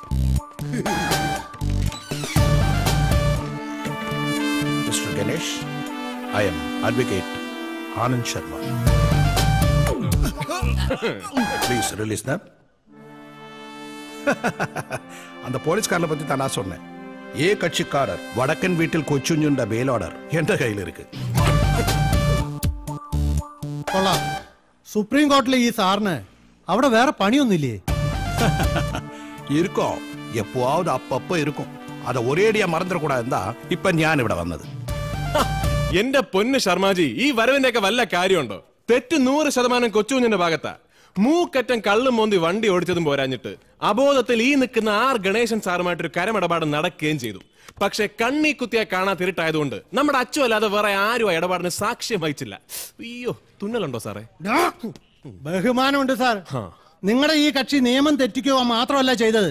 അന്തസ്സായി ജോലി ചെയ്യാൻ ഇറങ്ങിയ ഒരു പോലീസ് ഓഫീസറെ അതിക്രൂരമായി ആക്രമിച്ച് കൊല്ലാൻ ശ്രമിച്ചു. അങ്ങനെ ഒരു എഫ്ഐആർ കൂടി ഞാൻ ഇവന്റെ പേരിൽ എഴുതി ചേർത്താ പിന്നെ ഈ നീളം കവർ മതിയാവില്ല സാറിന് ഇവനെ ഇവിടുന്ന് അങ്ങോട്ട് ഇറക്കി കൊണ്ടുപോകാൻ കറക്റ്റ് ரொம்ப സിൻസിയർ പോലീസ് ഓഫീസറിന് സാർ ഇപ്പൊ പറഞ്ഞു അതേ നേരത്തില് ഇന്നലെ രാത്രി ഡ്യൂട്ടിക്ക് ഇറങ്ങിയ സാറും സാറിന്റെ സഖാക്കളും தொழில்ல எவ்வளவு பக்தியா உண்மையா ஆத்மார்த்தமா இருந்தீங்க நிரூபிக்கிறதுக்கு எனக்கு ஒரு சந்தர்ப்பம் கிடைச்சிருக்கு அதை நான் நிரூபிக்க வேண்டாமா every time you cannot be high you know sorry Sharmaji ஒரு அல்ப லேட் ஆகி no no you are on time doctor எனக்கு இவரையும் இவர் கூட இருக்கிற எல்லாருடைய பிளட்டும் டெஸ்ட் பண்ணி இவங்க உடம்புல எவ்வளவு ஆல்கஹால் இருக்குன்னு தெரியணும். மனசுல இல்லையா? இன்னல தண்ணி போட்டுட்டு வண்டி ஓட்டிய எந்த கட்சிக்காரனை நீங்க பிடிக்கும் போது நீங்க எல்லாரும் எத்தனை மாத்திரம் தண்ணி போட்டதுங்கிறத ஞான் அறியணும். அதுக்கப்புறம் எந்த மாதிரி எஃப்ஐஆர் எழுதணுங்கிறத ஞான் பறையும் டாக்டர் குத்துங்க. சாரே இன்னும் செக்கிங் இறங்கியப்போ. മാഹിന്ന് ദർശനം കഴിഞ്ഞു വരുന്ന ഒരു കൂട്ടം ചെറുപ്പക്കാർ ഉദിച്ച വക കിട്ടിയ പുള്ള് പോട്ട് കാലിയാക്കുമ്പോ ഞാൻ പറഞ്ഞതാ വേണ്ട വേണ്ടെന്ന് അതിൽ ഞാനും കഴിച്ചു പോയി നാലെണ്ണം ഏസൈ സാർ എത്ര കഴിച്ചത് എനിക്ക് അറിഞ്ഞൂടാ അത് സാറിനോട് തന്നെ ചോദിച്ചാൽ മതി தொழில்ல இவ்வளவு போதையா இருக்கிற உங்களுக்கு இப்ப தெரியணுமே எஃப்ஐஆர் எப்படி எழுதணும்னு അല്ല അത് പിന്നെ நமக்கு வேற வேலை ஒண்ணு இல்ல பாருங்க அதனாலதான் இந்த பெரிய கவரோட இந்த சின்ன ஆளை கூட்டிட்டு போலான்னு வந்தேன் வரட்டுமா ഏ? ഉള്ളത് പറയാലോ സാറേ. നല്ല സാധനമല്ലോ മേടിച്ചടിച്ച അത്ര പെട്ടെന്ന് മണം പിടിക്കുകയില്ല എന്നാൽ ഇന്നലെ സാറ് മുഖാമുഖം വന്ന് ഊതിക്കോ എന്ന് പറഞ്ഞപ്പോഴേ ഓസിനടിച്ച കൂതറ സാധനത്തിന്റെ മണം എനിക്ക് കിട്ടി. മോനൊന്നും അതേ ജംഗ്ഷനിലാണോ ഡ്യൂട്ടി? അയ്യോ കരയില്ലടാ. അപ്പൊ എല്ലാം പറഞ്ഞ പോലെ. ഈ ആനന്ദ് ശർമ്മയ്ക്ക് എന്താ വേറെ പണിയൊന്നുമില്ലേ? സുപ്രീം കോർട്ടിൽ നിന്ന് ഇവിടെ വരെ വന്ന് ഇവനെ പോലുള്ളൊരുത്തിന് വക്കാലത്ത് പറയാൻ? ഇത് അതൊന്നുമല്ല. അങ്ങേരെ പോലെ വേഷം കെട്ടി ഇറങ്ങി പുറപ്പെട്ട വല്ല നാടകന്മാരായിരിക്കും ഛേ വിഡിത്തം പറയാത്തറ ആ വന്നു പോയത് ആനന്ദ് ശർമ്മ തന്നെയാ. സ്റ്റേഷനിൽ നിന്ന് അഫം ഗണേശ് എന്നെ വിളിച്ച് പറഞ്ഞതാ. ഇന്നത്തോടെ അവന്റെ ശല്യം അങ്ങ് തീരുമെന്ന് വിചാരിച്ചാ അതിനു പകരം അവനങ്ങ് ഷൈൻ ചെയ്തു. പണ്ടാറടങ്ങാനായിട്ട്. വല്യപ്പന്റെ ഒസ്യത്ത് പ്രകാരം പ്രമാണത്തിലോട്ട് അവൻ ഒപ്പുവെച്ചാലേ വീതമൊപ്പ് നടക്കത്തുള്ളൂ. ഇതിപ്പോ പന്നിങ്ങനെ വിലം കടിച്ചു നിന്ന പ്രൈവറ്റ് ഹാർബർ ഒലത്തി കൊടുക്കാൻ ഞങ്ങളും ഉണ്ട് എന്നും പറഞ്ഞ് മുന്നൂറ് കോടിക്ക് കരാർ ഒപ്പിട്ടതും മുപ്പത് കോടി അഡ്വാൻസ് കൊടുത്തതും എല്ലാം ചേർത്ത് ആ ബോംബെ പാർട്ടി നമ്മുടെ ഒസ്യത്ത് എഴുതും. അടുത്ത ആഴ്ച അമറിന്റെ ലാസ്റ്റ് മീറ്റിംഗ് അത് മറക്കണ്ട. രണ്ടാമത്തെ പേയ്മെന്റ് അണ്ണാക്കിൽ ഉടക്കി. ഇനി മൂന്നാമത്തേത് മൂട്ടുടക്കുന്നതിന് മുമ്പ് എന്നാ വെച്ചാൽ തീരുമാനിച്ചേക്കണം. തന്തമാരി ഇതിന് ഇടയ്ക്ക് നിൽക്കുന്നുണ്ട ഈ മര്യാദ. അതല്ലേൽ ഭാഗം വെപ്പും ശവമടക്കുമെല്ലാം ഒരുമിച്ച് നടന്നേനെ. ആ ജോക്കുട്ടനെത്തി കരിമീൻ പൊള്ളിച്ചതും റെഡി. നീ എന്ന് വാതിലോർക്ക്. കുട്ടനല്ല കുഞ്ഞാന്നേ കൊച്ചു കുഞ്ഞ്.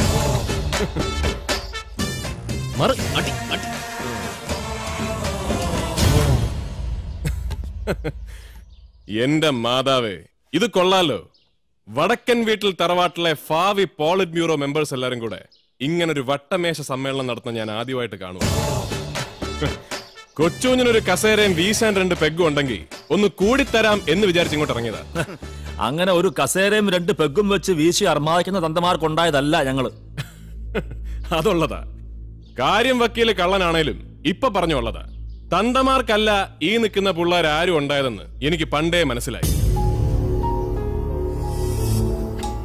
കൊച്ചുഞ്ഞിനെ അടിച്ച് പദം വരുത്തിയേച്ച് ഈ നെഞ്ചത്തോട്ട് കൃഷി ഇറക്കി അങ്ങനെ ഇപ്പൊ ആരും വിളവെടുപ്പ് നടത്തണ്ട. നടക്കുകയല്ല. കുരിശുപള്ളി മാതാവാണെ നടക്കുകയല്ല. ഇപ്പൊ രണ്ടെണ്ണം കേറിയച്ചാണ് ഞാൻ ഇങ്ങോട്ട് കേറി വന്നതെങ്കിൽ. കളക്ടറാണ് എസ് പി ആണെന്നൊന്നും ഞാൻ നോക്കിയാലായിരുന്നു ഈടിച്ച് കൂമ്പ് കലക്കി രക്തം മുള്ളിച്ചാണ് ഞാൻ. വാടാ. വന്ന് മുള്ളിക്കടാ. ചവിട്ടി നിന്റെ ആടിയാധാരം കലക്കും ഞാൻ. ഭാഗം വെപ്പ് മാത്രം മനസ്സിൽ കണ്ട ആക്രാന്തം മൂത്തിട്ട് ചേട്ടായിക്ക് ഇപ്പൊ എന്നാ കണ്ടാലും അടിയാധാരം എന്നൊരു ചിന്തയുള്ളൂ. ചേട്ടായിയേ എനിക്ക് മാത്രമല്ല ഇവിടെ നിൽക്കുന്ന എല്ലാവർക്കും ഉണ്ട് അടിയാധാരം. ഇനി ഒരടി മുമ്പോട്ട് വെച്ച ചാവിട്ടി അടിപ്പണ്ടം കലക്കി കൈ തരിഞ്ഞാൻ എങ്കി ഇങ്ങോട്ട് വാടാ. നീ വടതണ്ടി കൊച്ചുഞ്ഞിനോടാ കളി. ദേ ഒരാവർത്തി കൂടി എല്ലാരോടും പറയാ. വടക്കൻ വീട്ടിൽ കൊച്ചുകുഞ്ഞിനോട് ഉടക്കാൻ നിക്കല്ലേ ഒടച്ച് കൈ ഞാൻ. അപ്പൊ ശരി.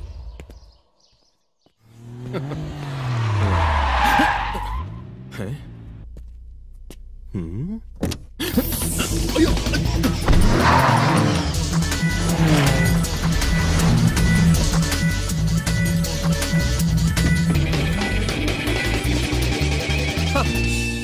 നീയായിരുന്നു.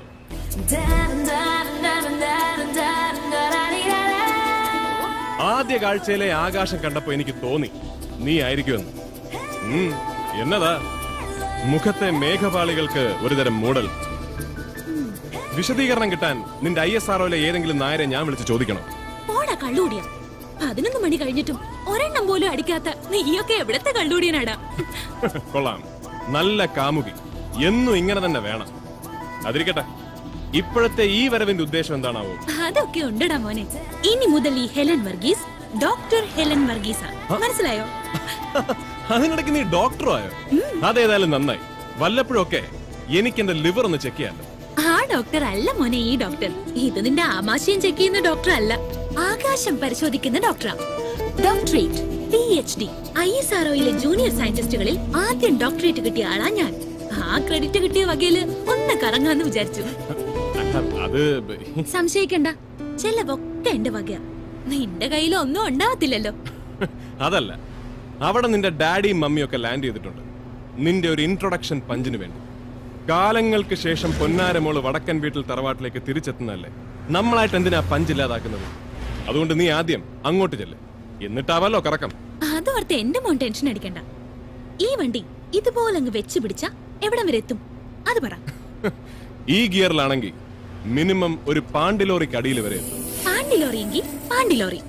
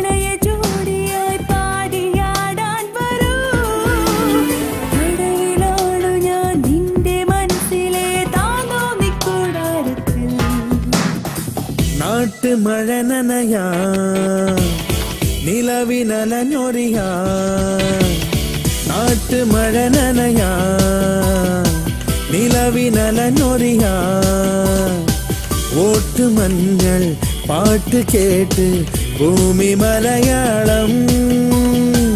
ഓട്ടുമഞ്ഞൾ പാട്ട് കേട്ട് ഭൂമി മലയാളം.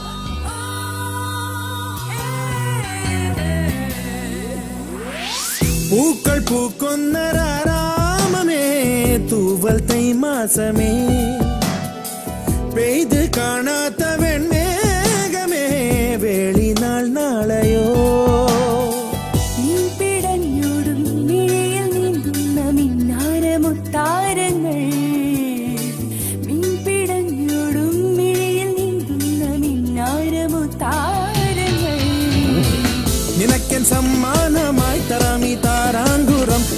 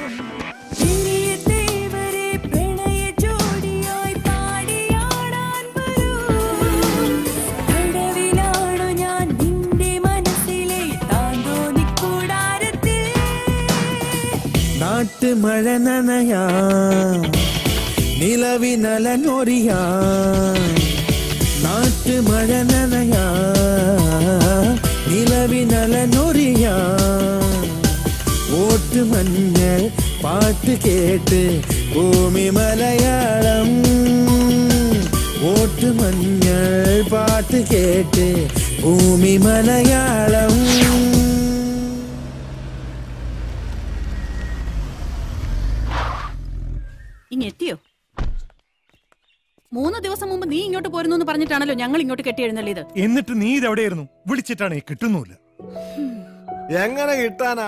വാണനിരീക്ഷണമാണല്ലോ കൊച്ചുമകളുടെ ജോലി. ആകാശത്ത് റേഞ്ച് കിട്ടത്തില്ലല്ലോ മരുമകനെ. അതെ ഔട്ട് ഓഫ് റേഞ്ചിലായിരുന്നു ഡോക്ടറേറ്റ് കിട്ടിയ സന്തോഷത്തിൽ ഫ്രണ്ട്സ് ആയിട്ടൊന്ന് കറങ്ങി. എന്തായാലും പൈലറ്റായിട്ട് കൂടെ കൂട്ടിയത് ആ തലതിരിഞ്ഞവനെ ആയിരിക്കും. ട്രൈ ചെയ്തു. പക്ഷേ മഹാറാണി ബാറിൽ മിസ്സായി പോയി ബാറിൽ മിസ്സായോ അതെ അവിടെ ആരെയോ കണ്ട് അനുഗ്രഹം മേടിക്കാനുണ്ടെന്ന് പറഞ്ഞു. ഓഹോ ബാറിലൊക്കെ ഇപ്പൊ അനുഗ്രഹം കൊടുക്കുന്നുണ്ടോ? പിന്നെ? അവന്റെ അമ്മ മഹാറാണിയിലെ സപ്ലയർ അല്ലേ? അനുഗ്രഹം കൊടുക്കാൻ. ഇനി ഇതിന്റെ പേരിൽ ആരും ആരുടെയും തലേ കയറാൻ നിൽക്കണ്ട. എനിക്കറിയാം എന്നാ വേണമെന്ന്. ഈനാം പേച്ചയ്ക്ക് മരപ്പെട്ടി കൂട്ട. അത് തന്നെ. മോൾ അവന്റെ കാര്യത്തിൽ വിശദീകരിച്ച് സമയം കളയണ്ട. വന്ന വേഷം മാറ്റി വല്ലതും കഴിക്കാൻ നോക്ക്. മാറിക്കേ.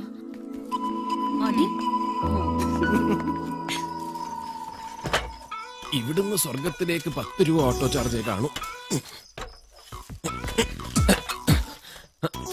അത് ശരി.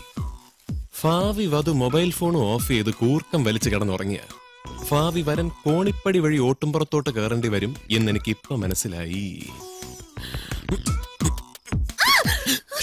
ഒച്ച വെക്കാതിരി ഇത് ഞാനാ. ദേ കണ്ടോ കോയി ബിരിയാണി. നിന്റെ താന്തോന്നിയുടെ വക. ഹ, പോയി വാതിൽ ഉറക്കടി ബോംബെ ഹോട്ടലിനാ. ഈ പാതിരാത്രിയിൽ കോഴി ബിരിയാണിയോ? നീയും ഞാൻ ഒരുമിച്ചാൽ ഏത് പാതിരാത്രിയും നമുക്ക് പട്ടപ്പകലാക്കാം കഥകു തുറക്കൂ കുട്ടി ഉം. Good morning, everybody. Good morning. Ah, hello. Hello. Hello. Please be seated. Thank you. Take the documents.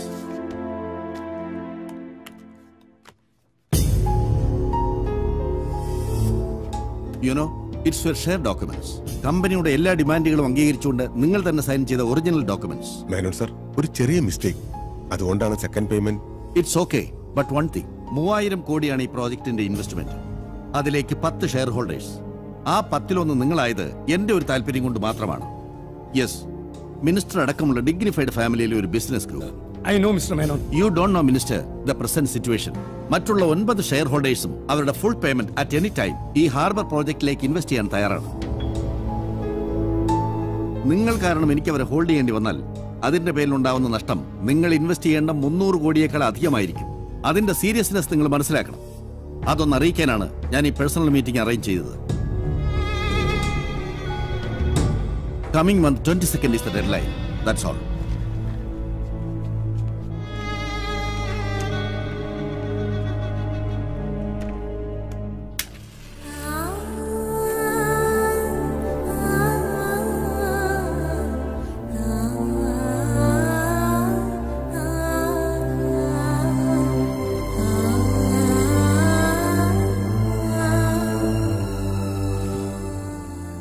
excuse me മാതാവേ.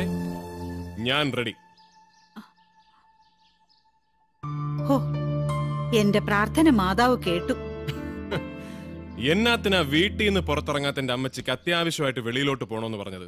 എന്റെ ലൊടക്ക് വണ്ടി മതിയോ? അതോ വല്യമാവന്റെ ബെൻസ് എടുക്കണോ? രണ്ടും വേണ്ട. നടന്നു പോയാ മതി. ഹാ അപ്പൊ പള്ളിയിലോട്ടായിരിക്കും. ആ എന്നാ? ഈ ദിവസം ഏതാന്നറിയോ നിനക്ക്? നിന്റെ അപ്പം മരിച്ചിട്ട് ഇന്നേക്ക് ഇരുപത്തഞ്ച് കൊല്ലം തികയാ. പള്ളിയിൽ പോയി പ്രാർത്ഥിക്കാൻ. നീയും വേണം എന്റെ കൂടെ.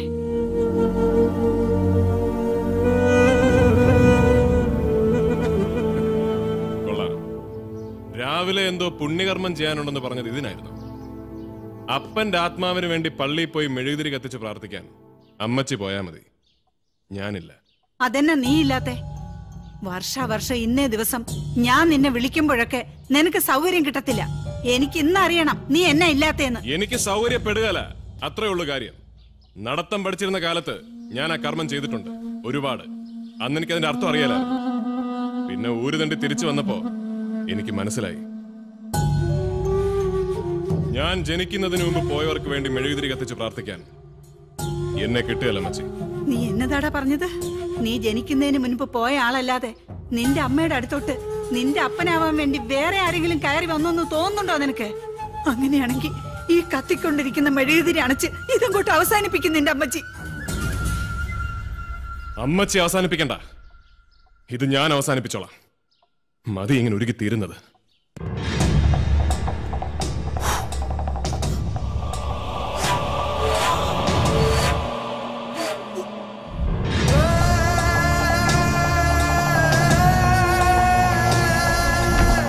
എന്നതാടാ നീ ചെയ്തത്?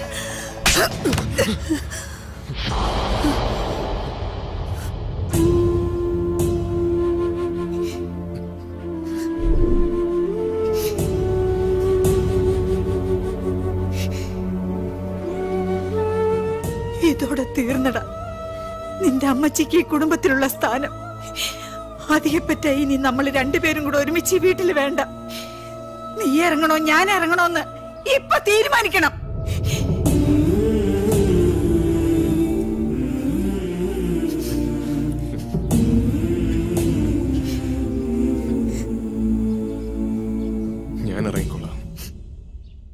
വീടും വിളക്കും ഇല്ലാതെ പണ്ട് ഞാനാണല്ലോ അമ്മച്ചി. അധികപ്പറ്റാട്ടി പടിയിറങ്ങിയത്. അങ്ങനെയാണെങ്കിൽ ഇനി നീ ഈ വീടിന്റെ പടി ചവിട്ടിയേക്കരുത്. അതിന്റെ ദണ്ണം മരണം വരെ ഞാനങ്ങ് സഹിച്ചോളാം.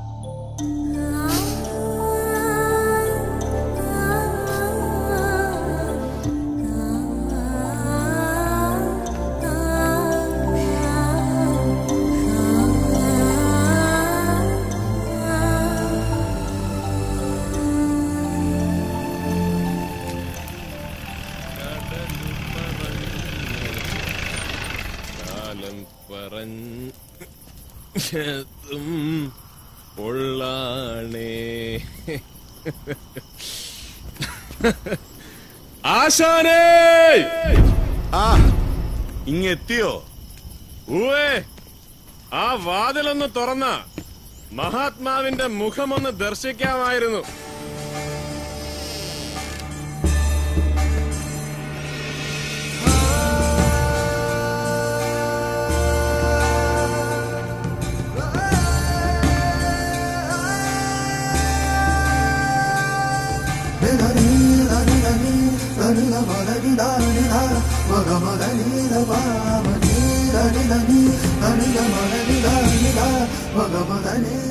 കാണാതെ വന്നപ്പോ എന്റെ കുട്ടിക്കുറുമ്പൻ ആശാനെ മറന്നു എന്ന് വിചാരിച്ചു. അങ്ങനെ അങ്ങ് മറക്കാൻ പറ്റുകയല്ലോ അതല്ലേ ഈ കൊച്ചുഞ്ഞിന്റെ ജന്മവിധി. ഭൂമിയിൽ ഒരു മകനും നിയോഗിക്കപ്പെടാത്ത അഗ്നി പരീക്ഷണം. ഇതെന്നാ? പെറ്റമ്മയുടെ വാത്സല്യം. ജീവിച്ചിരിക്കുന്ന അപ്പന്റെ ആത്മാവിലേക്കുള്ള വെളിച്ചം മൂതിക്കെടുത്തിയതിന്റെ പാരിതോഷികം. ഒരു കവളുടെ ബാക്കിയുണ്ട് ആശാനെ. ചെയ്തത് തെറ്റായി പോയെന്ന് തോന്നിയെങ്കിൽ ഇവിടുന്നു ആകാം ഒരു തലോടൽ.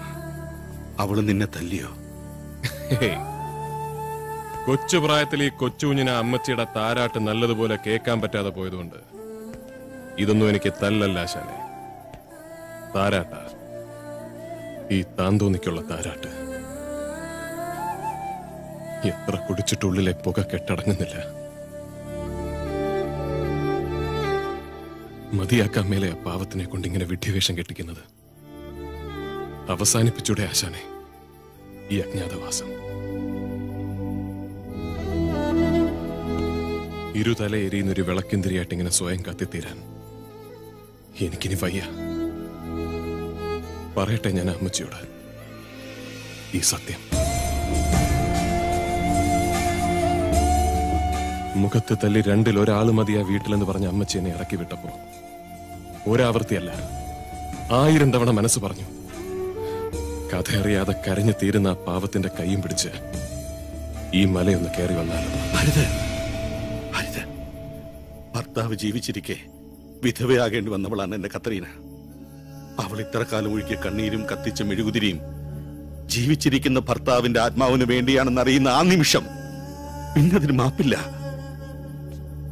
ഒരിക്കൽ ആ തറവാടിന്റെ പ്രതാപത്തിന് മുന്നിൽ തോറ്റുപോയവനാ ഞാൻ. ഇനിയും അത് ആവർത്തിച്ച പിന്നെ നിന്റെ അമ്മച്ച് കത്തിച്ചു വെച്ച മെഴുകുതിരിക്ക് അർത്ഥമുണ്ടാകും. നിനക്ക് പറയാം ഉള്ളിലെ ദണ്ണം തീരുന്നത് വരെ. ശപിക്കാം. കേൾക്കാൻ ഞാൻ അർഹനാ.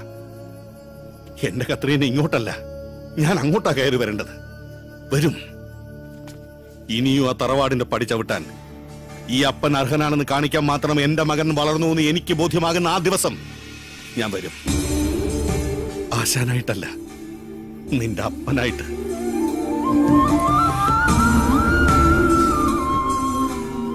മതി ആശാനെ. എനിക്കിത് മതി. ഇനി കഥയും കണ്ണുനീരും ഒന്നും വേണ്ട. ഒരായിരം പ്രാവശ്യം എനിക്ക് തന്ന് മോഹിപ്പിച്ച ഈ ഉറപ്പ് ഒന്നുകൂടി പറഞ്ഞു കേൾക്കാനാ ഇങ്ങോട്ട് കയറി വന്നു ഇനി ആ ചോളം വാറ്റി ഐറ്റം വലുതും ബാക്കി ഇരിപ്പുണ്ടെങ്കിൽ ഓരോന്നൊഴിക്ക് ഒന്നാറി തണുക്കാനാ. എന്നിട്ട് എനിക്ക് ആശാന്റെ മാസ്റ്റർ പീസ് ഒന്ന് കേൾക്കണം എന്റെ അമ്മച്ചയെ വഴിതെറ്റിച്ച അല്ല നല്ല വഴിക്ക് നടത്തിച്ച ആ മാസ്റ്റർ പീസ്.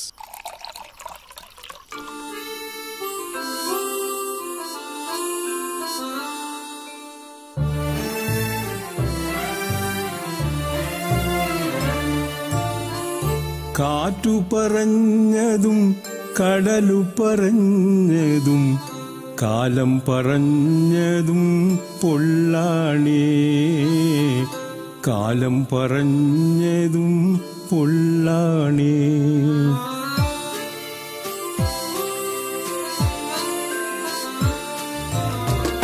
കാറ്റു പറഞ്ഞതും കടലു പറഞ്ഞതും കാലം പറഞ്ഞതും പൊള്ളാണേ കാലം പറഞ്ഞതും പൊള്ളാണേ പൊള്ളല്ല പൊന്നേ ഉള്ളകമാകെ പൊള്ളുന്ന നോവാണേ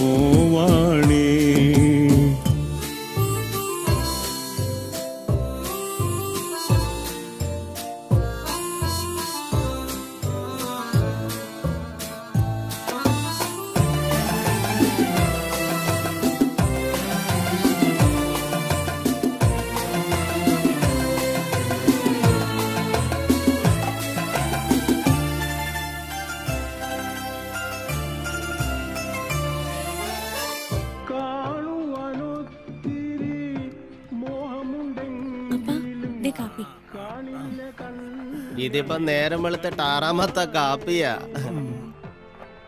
എടാ എന്റെ കത്രീനെ കൊച്ച് കാപ്പിയിട്ട് തന്ന ഈ ഒരു ഒറ്റ ഇരിപ്പിന് ആറല്ല പന്ത്രണ്ട് എണ്ണം വരെ പോവും.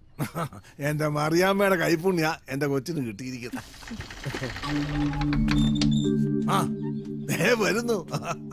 കാറ്റു പറഞ്ഞതും കടലു പറഞ്ഞതും. നന്നായിടൂ വളരെ നന്നായി. ഞാൻ വയനാട്ടിലോട്ട് മല കയറിയത് ഇഞ്ചി കൃഷിക്കുള്ള നല്ലേനെ വിട്ടു നോക്കിയ. അതിന്റെ കൂടെ ഞാൻ നടത്തിയ പള്ളിപ്പെടുന്നാൾ നാടകം കളിക്കാൻ കലർപ്പില്ലാത്ത ഈ വിത്തിനെ എനിക്ക് കിട്ടി. സന്തോഷമായി എല്ലാവരും ഗംഭീരമായിരുന്നു തന്റെ നാടകം എന്ന് ഒറ്റ വാക്കി പറഞ്ഞപ്പോ ഈ കൊച്ചൗസേഫിന്റെ മനസ്സ് നിറഞ്ഞടോ. ഒന്ന് മുഖാമുഖം കണ്ട് യാത്ര പറയാമെന്ന് വിചാരിച്ചു. തന്ന സ്നേഹത്തിനും അംഗീകാരത്തിനും എല്ലാത്തിനും നന്ദി. അപ്പോ ഇനി എങ്ങോട്ടാ? അതറിയല. മനസ്സിലെ കഥയും കഥാപാത്രങ്ങളും ഉണ്ട്. അവരെ ഇന്നലത്തെ പോലെ വെളിച്ചത്ത് കാണിക്കാൻ എഴുതാൻ ഒരു കൂര. അതെവിടെയുണ്ടോ അവിടെ വരെ. ആ കാണുന്ന കൂര മതിയാവുമെങ്കിൽ അന്നം മുടങ്ങാതെ എത്തും വടക്കം വീട്ടിൽ നിന്ന് കലാകാരനും കഥാപാത്രങ്ങളും ഒക്കെ ആയതുകൊണ്ട് ഇഷ്ടാവുമെന്ന് അറിയാൻ മേല. ബോധ്യമാവുമെങ്കിൽ നാടകം ഇഷ്ടമുള്ളിടത്ത് നടത്താം. കിടത്തം അവിടെയാക്കാം. എന്നാ? ശങ്കര ആ വാതിലൊന്ന് തുറന്നു കൊടുക്ക.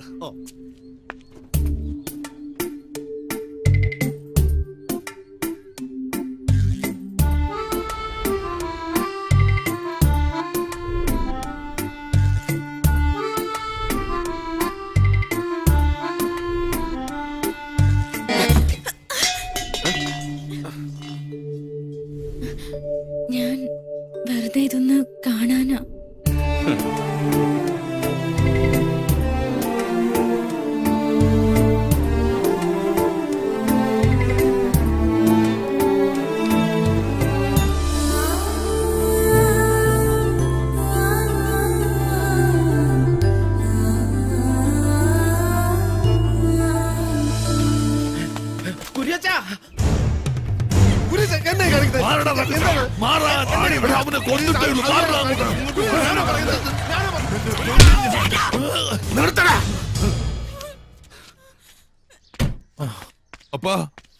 നമ്മുടെ കത്രീനെ ഇവൻ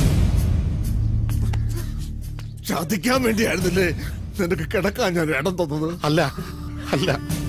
തണൽ തന്ന മരം തന്നെ വെട്ടിമാറ്റാൻ അത്രയ്ക്ക് ക്രൂരനൊന്നും അല്ല ഞാൻ. ഇതുവരെ കിട്ടാത്ത സ്നേഹവും അന്നു ഇവിടുന്ന് കിട്ടിയപ്പോ ജീവിക്കാൻ ഒരു കൊതി തോന്നി.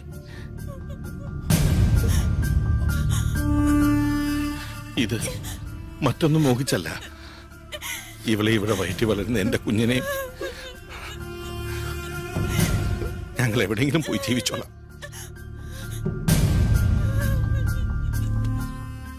അനുവാദം തരണം. അപേക്ഷയാണ്.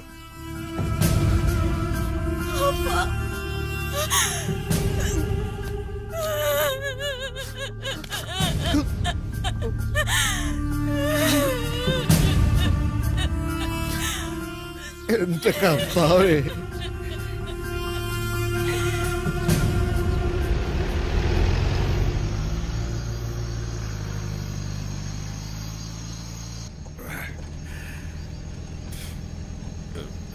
കത്രീനാമ്മ പറഞ്ഞതുകൊണ്ടാ.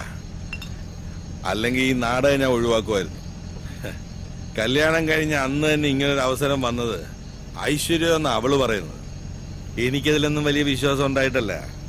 മനുഷ്യൻ മനുഷ്യനെ വിശ്വസിക്കുക ഞാൻ നീലകണ്ഠനെ വിശ്വസിച്ചില്ലെങ്കിൽ ഈ യാത്രയ്ക്ക് ഒരു അർത്ഥമില്ല നീലകണ്ഠൻ എന്നെയും ആശാൻ എല്ലാവരുടെയും സങ്കട പറയാന്ന് നാടകം കണ്ടപ്പോ എനിക്ക് മനസ്സിലായി. നാടകം എന്ന് പറഞ്ഞ നാടിനകത്തുള്ള സങ്കടമാണോ നീലകണ്ഠ? നമ്മുടെ സമയം നമ്മുടേതല്ല. നമ്മളെ ആവശ്യപ്പെടുന്നവരുടെ ഇപ്പോ അത് നീലകണ്ഠന്റെയാ. അങ്ങനെയാണെങ്കിൽ ഈ നീലകണ്ഠന് വേണ്ടി ആ പാട്ടൊന്ന് പാടുവാശാനെ ഒരു തവണയോ? ആയിരം തവണ പാടും. കാലങ്ങൾ കൊഴിയുമ്പോൾ പൊള്ളുന്നു നെഞ്ചകം. തിരമാലകളും കൂട്ടില്ല ഭൂവിതിൽ. ഓമലെ നിൻമുഖം മായില്ല വാനിതിൽ. ഓമലെ നിൻമുഖം മായില്ല വാനിതിൽ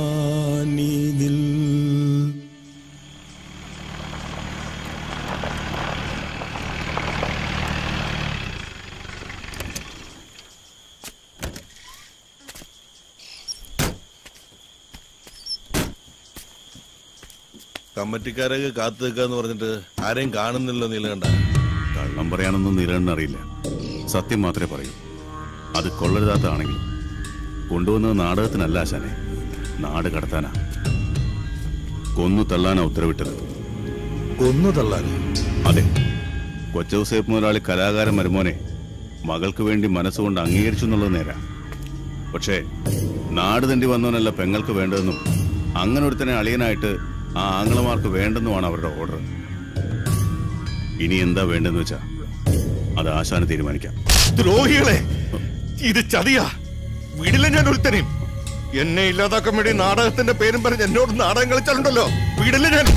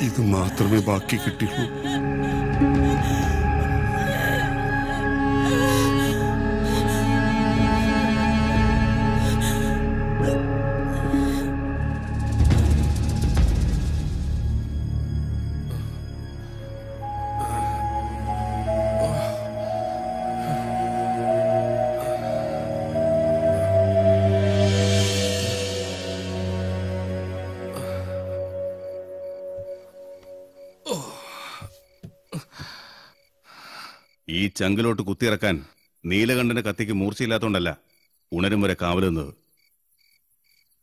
നാളെ ലോകം അറിയേണ്ട ഒരു കലാകാരന്റെ നെഞ്ചിലോട്ട് അത് വേണ്ടെന്ന് കരുതിയിട്ടാ. ഇതൊന്ന് വായിച്ചു നോക്ക്.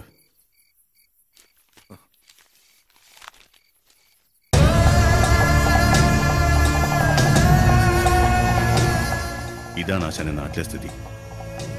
കൊക്കയിലേക്ക് വീണ ആശാന്റെ പൊടി പോലും കിട്ടിയിട്ടില്ലെന്നാ കത്രീനോട് പറഞ്ഞിരിക്കുന്നേ. ഇപ്പൊ അവിടെ ഇടവക പള്ളിയിൽ മരിച്ചുപോയി ഈ ദാവീദിന്റെ ആത്മാവിന് വേണ്ടി കുർബാന ഒലിക്കുന്നുണ്ടാവും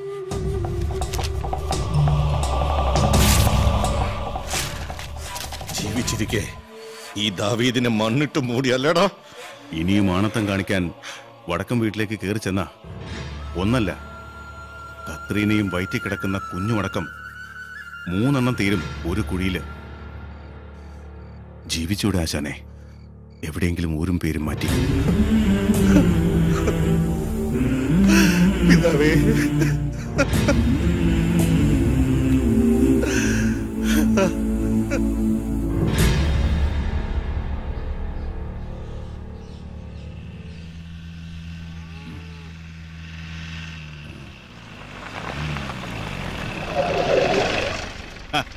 ഇതാര്? കൊച്ചുകുഞ്ഞോ? ആന്നേ. സാക്ഷാൽ വടക്കൻ വീട്ടിൽ കൊച്ചുകുഞ്ഞ്. എന്റെ നീലേട്ട അക്കാലം അല്ല ഇക്കാലം. സകലതിനും ഉടക്ക. എല്ലാ ഉടക്കുകളും തീർത്തിട്ട് ഇപ്പോഴാ ഒന്ന് ഇറങ്ങാൻ പറ്റിയത്. അല്ലാതെ പതിവ് സന്ദർശനത്തിന് മുടക്കം വരുത്തിയതല്ല. ഗ്രന്ഥകർത്താവിന്റെ പുതിയ പുസ്തകങ്ങൾ. ഗ്രന്ഥകർത്താവ്. നീലൻ.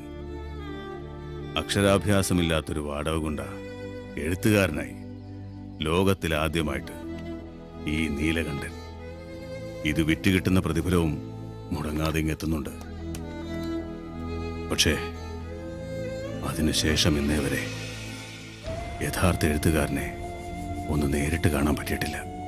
ഊരും പേരും മാറ്റി ജീവിച്ചൂടെ എന്ന് അന്ന് ഞാനൊരു വാക്ക് പറഞ്ഞപ്പോൾ ആ വലിയ മനസ്സ് ദാവീദ് എന്ന ആ പേര് മാറ്റി നീലകണ്ഠനിലേക്ക് ചെറുതായി. അങ്ങോട്ട് മല കയറി ചെന്ന് ഒന്ന് മുഖാമുഖം കാണാൻ മനസ്സുണ്ട്. പക്ഷേ.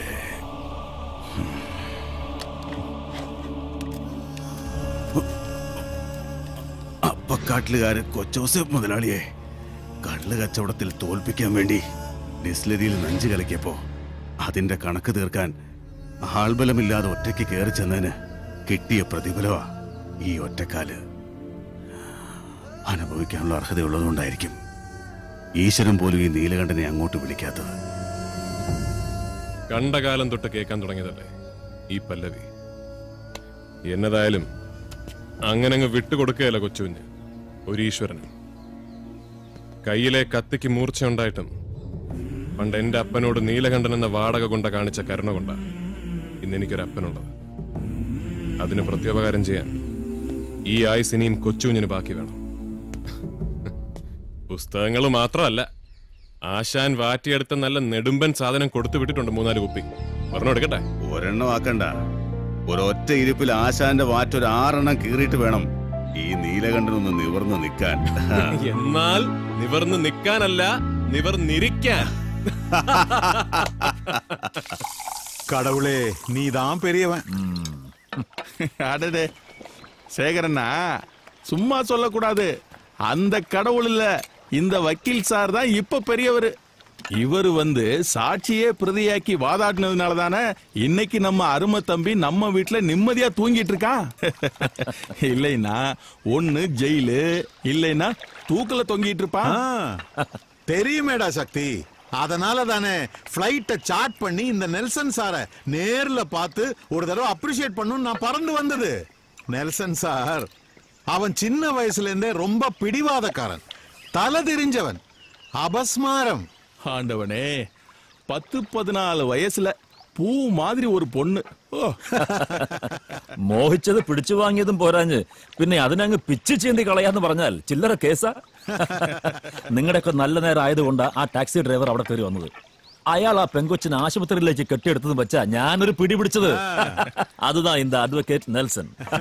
പാവം പതിനാല് വർഷത്തെ കഠിന തടവും മൂന്ന് ലക്ഷം പിഴയും അത്ര അങ്ങ് വാങ്ങിച്ചു കൊടുത്തു. പോതും പോതും. ഒരു നിരപരാധിക്ക് അതുവേ പോതും. പിന്നെ നിങ്ങൾ പറഞ്ഞ ആ തലതിരിഞ്ഞ തമ്പിയെ പോലെ ഒരുത്തൻ ഞങ്ങളുടെ തറവാട്ടിലും ഉണ്ട്. കൊച്ചുപ്രായത്തില് ഞാൻ മോഷ്ടിച്ച അമ്മായിയുടെ മുക്കാപ്പവന്റെ താലിമാല അവന്റെ തല കെട്ടിവെച്ച എന്റെ തുടക്കം ஒரு கிரிமினல் அட்வொகேட்டோட சரியான ஆரம்பம்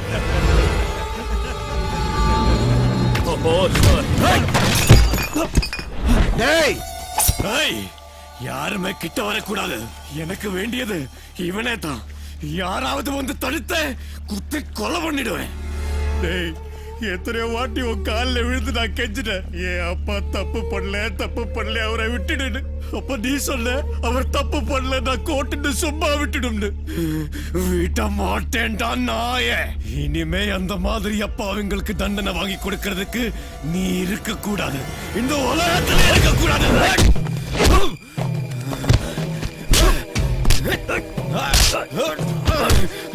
விட மாட்டேன்டா.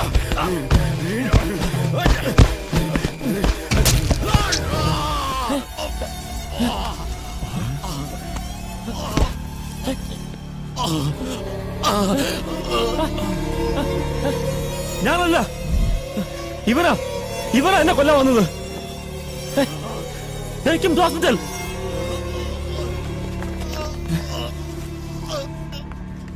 ഓ മൈ ഗോഡ് oh സീക്കറ ഹോസ്പിറ്റലിൽ എടുത്ത് உத்தரோட இருந்தா திரும்பி வருவேடா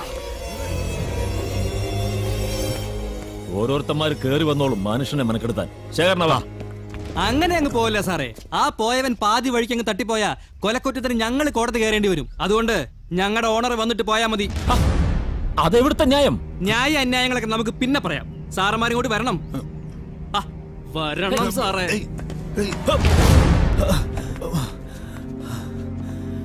യു ബാസ്റ്റർഡ് എന്നെ കുറിച്ച് താനൊക്കെ എന്താണ് മനസ്സിലാക്കിച്ചിരിക്കുന്നത്? You know I'm a leading criminal advocate അല്പനേരം സാറന്മാരും ഞങ്ങളോട് സഹകരിച്ചേ പറ്റൂ. അത് മറ്റൊന്നും കൊണ്ടല്ല. ഈ ഹോട്ടലിന് അതിന്റേതായ ചില പ്രൊസീജിയേഴ്സ് ഉണ്ട്. അതിൽ ഞങ്ങളുടെ ഓണർ വളരെ സ്ട്രിക്റ്റാ അവന്റെ മറ്റെടുത്തൊരു ഓണർ എങ്കിൽ നിന്ന് പ്രസംഗിക്കാതെ വിളിച്ചോണ്ട് വേണോ അയാളെ.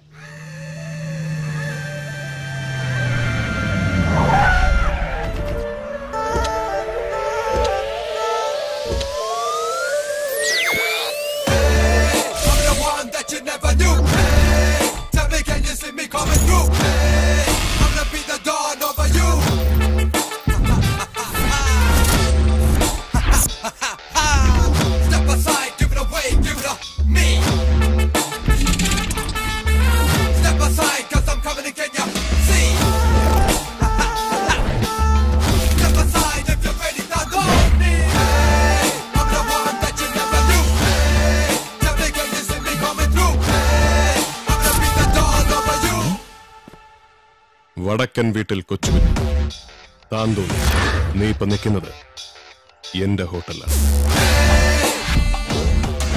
സ്വന്തം ഭാര്യയെ പ്രസവവാടി കൊണ്ട് കേറ്റിട്ട് നീ സ്റ്റേറ്റ് മാറി എന്ത് കോപ്പുണ്ടാക്കാനാടാ വന്നത്? അതല്ല വെള്ളമടിയും വാക്കത്തി പ്രയോഗമൊക്കെ ആയിട്ട് കൊച്ചുകുഞ്ഞിന്റെ പണി നീ അങ്ങ് ഏറ്റെടുത്തോ. കുടുംബ പാരമ്പര്യവും തറവാട്ട് മഹിമയൊക്കെ ചേട്ടന്മാർക്ക് വടക്കൻ വീട്ടിനകത്തല്ലേ ഉള്ളൂ. ഞാൻ എന്റെ ജോലി ചെയ്യാൻ വന്നതാ.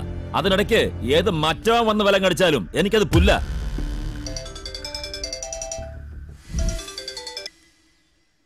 ഹലോ சார் நான் டாக்டர் பிரசாத் பேசுறேன் maximum try പണ്ടോ but he's no more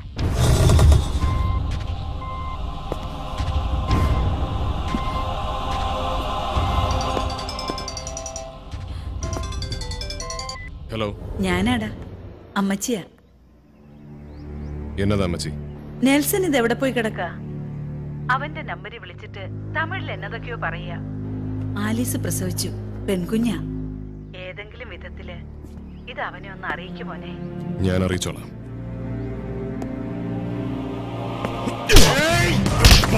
കൊലയാടി മോനെ.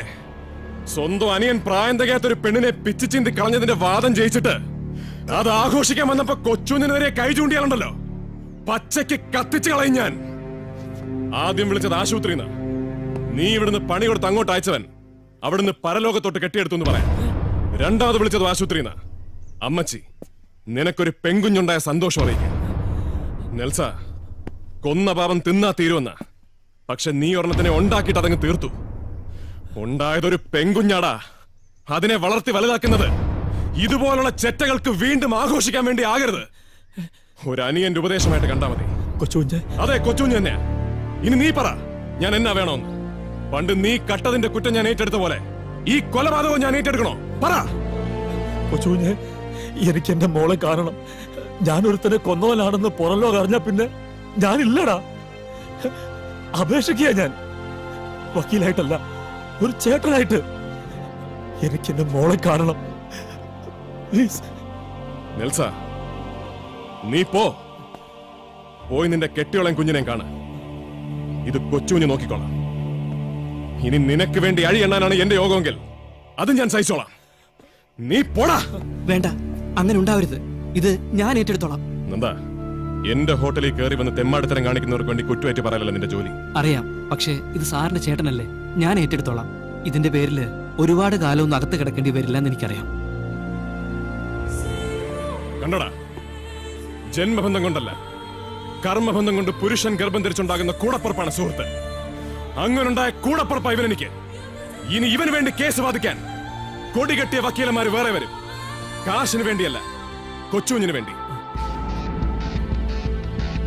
വടക്കൻ വീട്ടിലെ വക്കീലെ കൊച്ചു പ്രായത്തിൽ ഊരുതണ്ടിപ്പോയവൻ കാശിന് വകയില്ലാത്തവനായി തിരിച്ചെത്തിയ കഥ ഒരുപാട് വന്നിട്ടുണ്ട് സിനിമയിൽ. നീയൊക്കെ അതേ കഥ ഒരു ആയിരം വട്ടം ആവർത്തിച്ച് പറഞ്ഞിട്ടുണ്ട് തറവാട്ടിൽ. പക്ഷെ ഇത് കഥ വേറെയാടാ. കൊച്ചു കുഞ്ഞു ഉശരി കാണിച്ച് ഊരുതണ്ടി ഉണ്ടാക്കിയാ വന്നത്. ആ സമ്പാദ്യത്തോട് മത്സരിക്കാൻ. വടക്കൻ വീട്ടിൽ ആണായിട്ട് ജനിച്ച നീ അടക്കമുള്ള ഒൻപതെണ്ണത്തിന്റെ സമ്പാദ്യം കൂട്ടിവെച്ചാലും മതിയാകുകയല്ല. അതൊന്നല്ല ഒൻപതുമല്ല പത്ത് മടങ്ങെങ്കിലും വരും. ഓ പോയി ഉണ്ടായ പെങ്കൊച്ചിനൊരു പൊന്നറിഞ്ഞാണം കെട്ടിക്കൊടുക്ക. പണ്ട് നീ കട്ടോണ്ട് പോയ മുക്കാപ്പവന്റെ താലിമാല പോലെയല്ല. അവളുടെ അപ്പാപ്പന്റെ വക മൂന്നേ മുക്കാൽ പവന്റെ ഒരു പൊന്നരഞ്ഞാണം.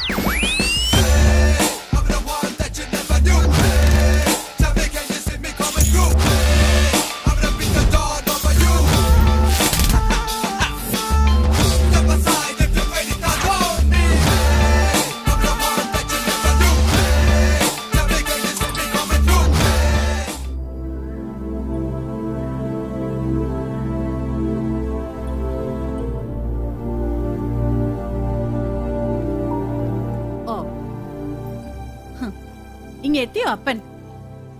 തറവാട്ടിൽ ഒരു പെങ്കൊച്ചുണ്ടായതിന്റെ സന്തോഷം ഊതിക്കെടുത്തിട്ട് നീയൊക്കെ എന്നാത്തിനാടാ ഇങ്ങോട്ട് കേറി വന്നത്.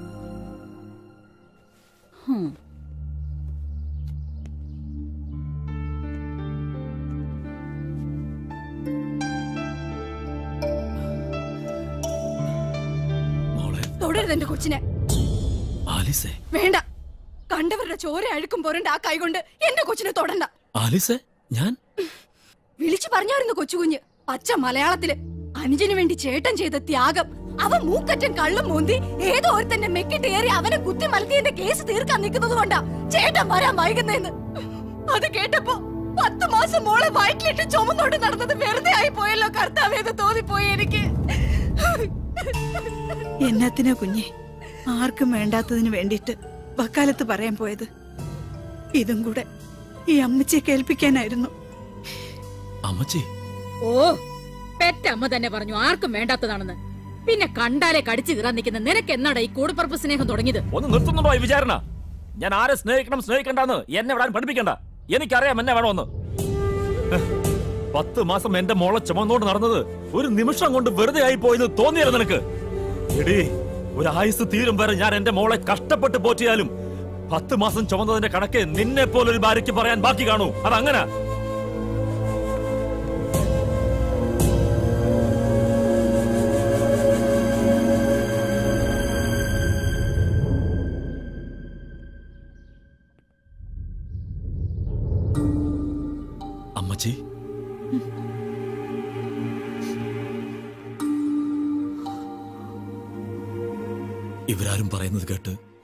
ഒരു നിമിഷം പോലും അമ്മച്ചി കൊച്ചുകുഞ്ഞിന് വേണ്ടി കരയരുത്. കണ്ടാലേ കടിച്ചു കീറുമായിരുന്നു ഇന്നലെ വരെ. പക്ഷേ ഇന്നെനിക്കതല്ല എന്റെ കൊച്ചുകുഞ്ഞ്. പ്രായം കൊണ്ട് അവൻ എനിക്ക് അനിയന. പക്ഷേ ജീവിതം കൊണ്ട് അവൻ എന്റെ ചേട്ടനാ. നീ എന്നതൊക്കെയാടായി പറയുന്നേ? സത്യം. അമ്മച്ചിയാണ് സത്യം. കള്ളു കയറിയതും കുത്തി വളർത്തിയതും ഞാനാ. അതിന്റെ പേരിൽ അയാൾ അങ്ങ് തീർന്നുപോയി. ആ കേസിൽ ഞാൻ അകത്താവുന്നായപ്പോ അത് കൊച്ചു ഞങ്ങൾ ഏറ്റെടുത്തു. പണ്ടും അതങ്ങനൊക്കെ തന്നെ ആയിരുന്നല്ലോ. എന്റെ കർത്താവേ ഞാൻ എന്നതൊക്കെ കേൾക്കുന്നേ?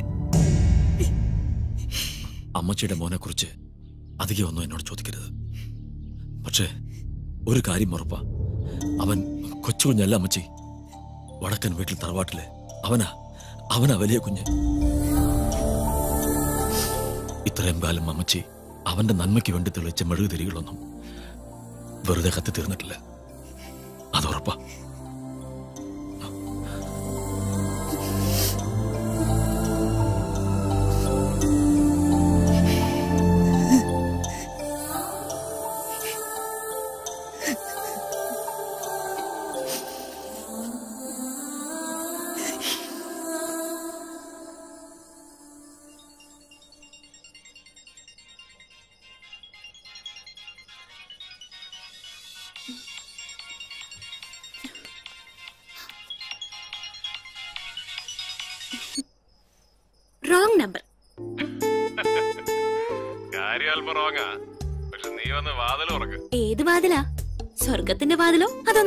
വാതിലോ അങ്ങനാണല്ലേ. എന്നതാ ഈ നരകത്തിന്റെ വാതിൽ. മട്ടുപ്പാവിൽ നിന്ന് വെറുതെ പാതിരാക്കാറ്റ് കൊള്ളാതെ വന്ന് വാതിൽ തുറക്കടി.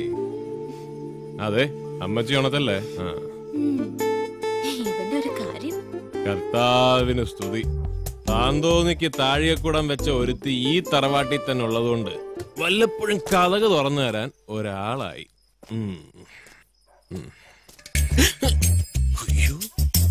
പടി ചവിട്ടിപ്പോകരുതെന്നാണ് അമ്മച്ചിയുടെ ഓർഡർ. അങ്ങനെയാണെങ്കിൽ പടി ചവിട്ടാതെ കയറാം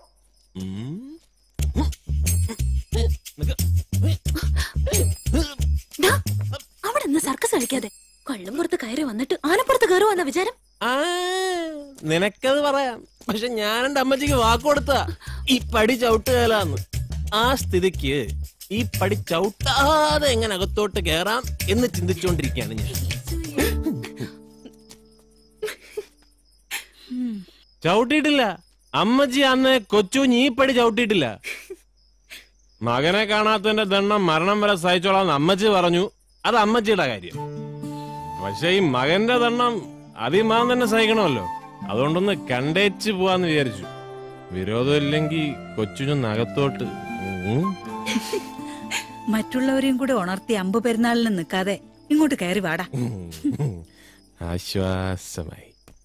ചോറിലോട്ട് വെള്ളമൊഴിച്ച് കാണുമെന്ന് അറിയാം അതുകൊണ്ട് ഇതേ ഒരു അഞ്ചാറ് കാന്താരി മുളക് ബാക്കിയുണ്ട്. ഇതൊന്ന് ചമ്മന്തി അരച്ച് ചെന്നാലും മതി. ഞാൻ കഞ്ഞി കുടിച്ചോളാം. നല്ല വിശപ്പുണ്ട് അതുകൊണ്ടാണ് എന്നതാണെന്ന് വെച്ചാ അമ്മച്ചിയുടെ പൊന്നുമോനങ്ങ് തന്നെത്താൻ ഉണ്ടാക്കി കഴിച്ചേച്ചാ മതി. ഓ അങ്ങനെ അന്നെ അങ്ങനെ.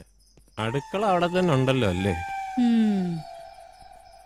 കാറ്റു പറഞ്ഞതും കട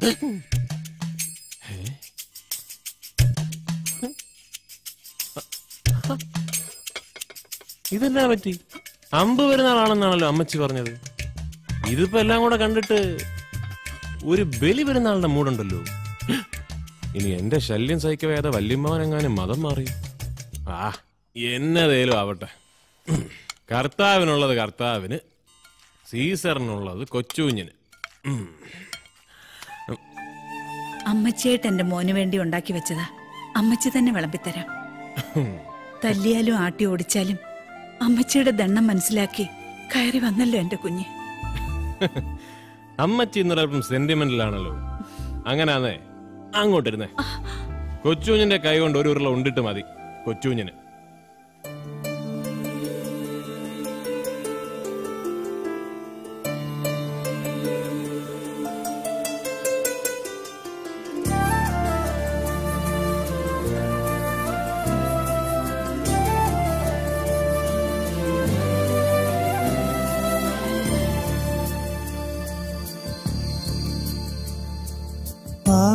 ആകാശമറിയാതെ സൂര്യനുണരുന്നു അമ്മി നിന്നെ കണി കാണുവാൻ അലയാഴി അറിയാതെ കടലാഴമൊഴുകുന്നു അമ്മി നിന്നെ താരാട്ടുവാൻ ഒന്നും മിണ്ടാതെ നിൻ നെഞ്ചിൽ പാൽ തേടുന്നോ. പൈക്കിടാവ് പോലെ എന്റെ കുറുമിന്റെ കുണുമണി കുസൃതികൾ. ആകാശമറിയാതെ സൂര്യനുണരുന്നു അമ്മേ നിന്നെ കണി അലയാഴി അറിയാതെ കടലാഴമൊഴുകുന്നു അമ്മേ നിന്നെ താരാട്ടുവാൻ.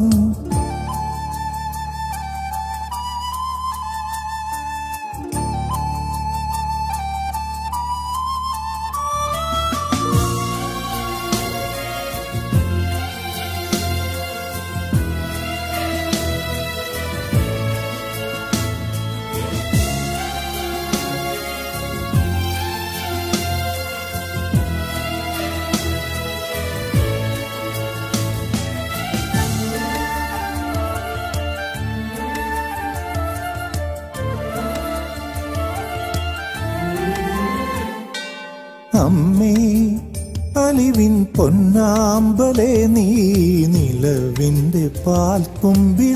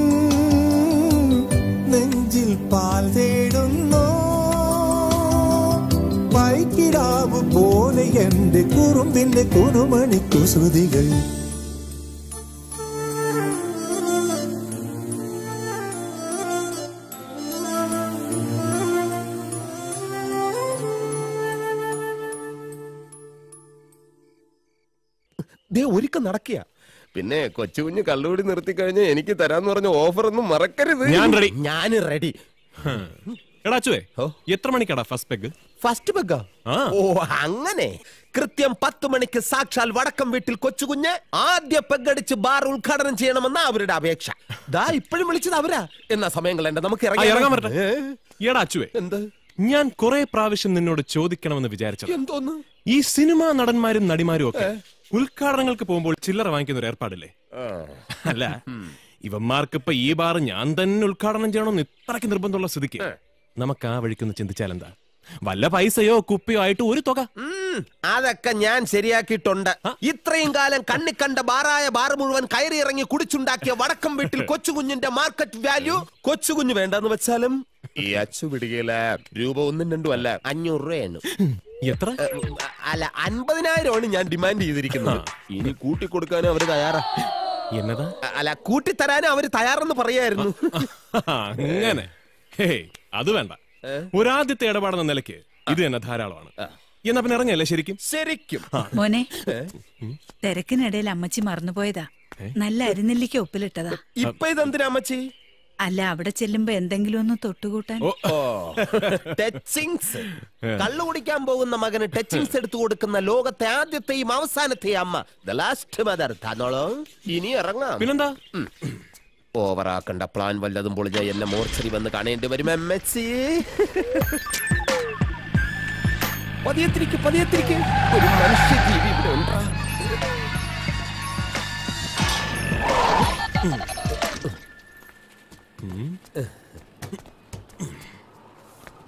കെട്ടിടവും പരിസരവും കുറച്ച് പഴകിയതാണല്ലോ. ശരിക്കും. പക്ഷെ അടിക്കുന്ന സാധനം പുതിയതാ. ഓ yes come thank you welcome welcome thank you I'm doctor doctor Thomas വൈദ്യൻ കൊള്ളാം കൊള്ളാം ഡോക്ടർക്ക് ഈ പേര് എം ബി ബി സി കിട്ടിയതിന് ശേഷം ഇട്ടതാണോ? അതോ ജനിച്ചപ്പോഴേ വൈദ്യരാണോ? യു ആർ നോട്ട് ഇത് ഞങ്ങളുടെ കുടുംബ പേരാണ്. ആ, വരണം വരണം. പ്ലീസ് ഡു കം ഇത് ഏതായാലും നന്നായി. ഒരു ബാറിൽ ഒരു ഡോക്ടർ. വളരെ അത്യാവശ്യമാണ്. ഷുഗറും പ്രഷറും ഒക്കെ ആയിട്ട് എന്തൊക്കെ അസുഖമുള്ളവന്മാരെ ഇവിടെ വെച്ച് കയറാൻ വരുന്നത്? അതിലൊരുത്തന് ഷുഗർ ഒന്ന് ഡൗൺ ആയ. വല്ല പഞ്ചസാര വെള്ളമോ മുട്ടായോ കലക്കി അണ്ണാക്കിലോട്ട് കൊടുക്കാൻ ഒരു ഡോക്ടർ വേണ്ടേ? ശരിക്കും. നമുക്ക് പെട്ടെന്ന് അകത്തോട്ട് കയറാം ഓക്കേ. മദ്യം മദ്യം ചോദിച്ചിട്ട് എത്ര നേരമായി? എനിക്ക് കുടിച്ചു കുടിച്ചു മരിക്കണം. അച്ചു അത് ഈ വെളുപ്പങ്കലത്തെ അടി തുടങ്ങുന്ന വെളിച്ചപ്പാട. സാധനം കിട്ടാഞ്ഞിട്ട ഈ വെപ്രാളം. നീ പെട്ടെന്ന് ഉദ്ഘാടനം നിർവഹിച്ച അയാൾ അടങ്ങും. അയ്യോ നീ എളുപ്പം നിർവഹിക്കോ. ചെല്ലുന്ന ചെല്ല കിളികളെ നല്ല ചൂട്. ഞാൻ മരിക്കാൻ പോകുന്നു. മോചനം ഡി അഡിക്ഷൻ സെന്റർ.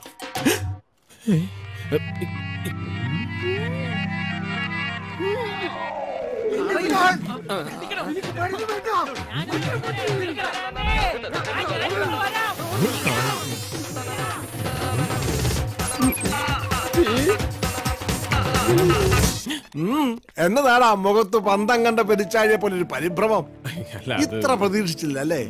ഇങ്ങനെയൊക്കെ ഒരു നാടകം കളിച്ചാലേ നിന്നെ പോലെ ഒരു താന്തോന്നിയെ ഇതുപോലെ സ്ഥലത്ത് പൂട്ടിയിടാനൊക്കത്തുള്ളൂ മതി നിന്റെ കൂടി. മര്യാദയ്ക്ക് അനുസരിച്ചില്ലെങ്കിൽ ഈ ഡോക്ടർ നല്ല മയക്കുവടി വെക്കും ആ എന്നതായാലും താങ്ക്സ് വെൽക്കം നന്ദിയുണ്ട് എല്ലാവരോടും. താങ്ക് യു അടിച്ച് പൂക്കുറ്റിയായി രാത്രി കയറി കിടക്കുമ്പോഴും പിന്നീട് രാവിലെ പത്ത് മണിക്ക് ശേഷം അതിന്റെ ഹാങ് ഓവറിൽ എഴുന്നേക്കുമ്പോഴും ഒരായിരം തവണ പ്രാർത്ഥിച്ചിട്ടുണ്ട്. കർത്താവെ ഈ നശിച്ച വെള്ളമടിയിൽ നിന്നും എങ്ങനെയെങ്കിലും ഒന്ന് രക്ഷപ്പെടാൻ സാധിച്ചെങ്കിലെന്ന് പക്ഷെ ഇന്ന് സംഭവിച്ചു. സംഭവിപ്പിച്ചു. ഗോഡ്സ് ഗ്രേസ് മോനെ. അച്ചുവേ നന്നായിടാ. ഒരു ബാർ ഉദ്ഘാടനത്തിന്റെ കെട്ടുകഥ ഉണ്ടാക്കി. ഒരു അച്ചുതണ്ടായി നീ ഇതിന് കൂട്ടുന്നത് വളരെ നന്നായി. ശരിക്കും? വൈദ്യം പറയൂ. ഡോക്ടർ പറയൂ. ഈ ഒരു ബോഡിയിൽ നിന്നും ആൽക്കഹോളിന്റെ കണ്ടന്റ് പൂർണമായി ഒഴിവാക്കാൻ. ഉദ്ദേശം എത്ര നാൾ ഞാൻ വൈദ്യരോട് ഡോക്ടറോട് സഹകരിക്കേണ്ടി വരും? It's a silly job for me you are young and fresh ഏറിയാൽ ഒരു മാസം വൺ മന്ത് വൺ മന്ത് ആയിക്കോട്ടെ. ഒരു മാസമെങ്കിൽ ഒരു മാസം. കുഞ്ഞമാവ നെൽസ അച്ചു എന്റെ അമ്മച്ചിയോട് പറയണം. ഇന്നേക്കൊരു മാസം കഴിഞ്ഞ് വെള്ളമടിയൻ അല്ലാത്തവനായി കൊച്ചുകുഞ്ഞ് വടക്കൻ വീട്ടിലേക്ക് തിരിച്ചെത്തുമെന്ന്. ശരിക്കും. ശരിക്കും.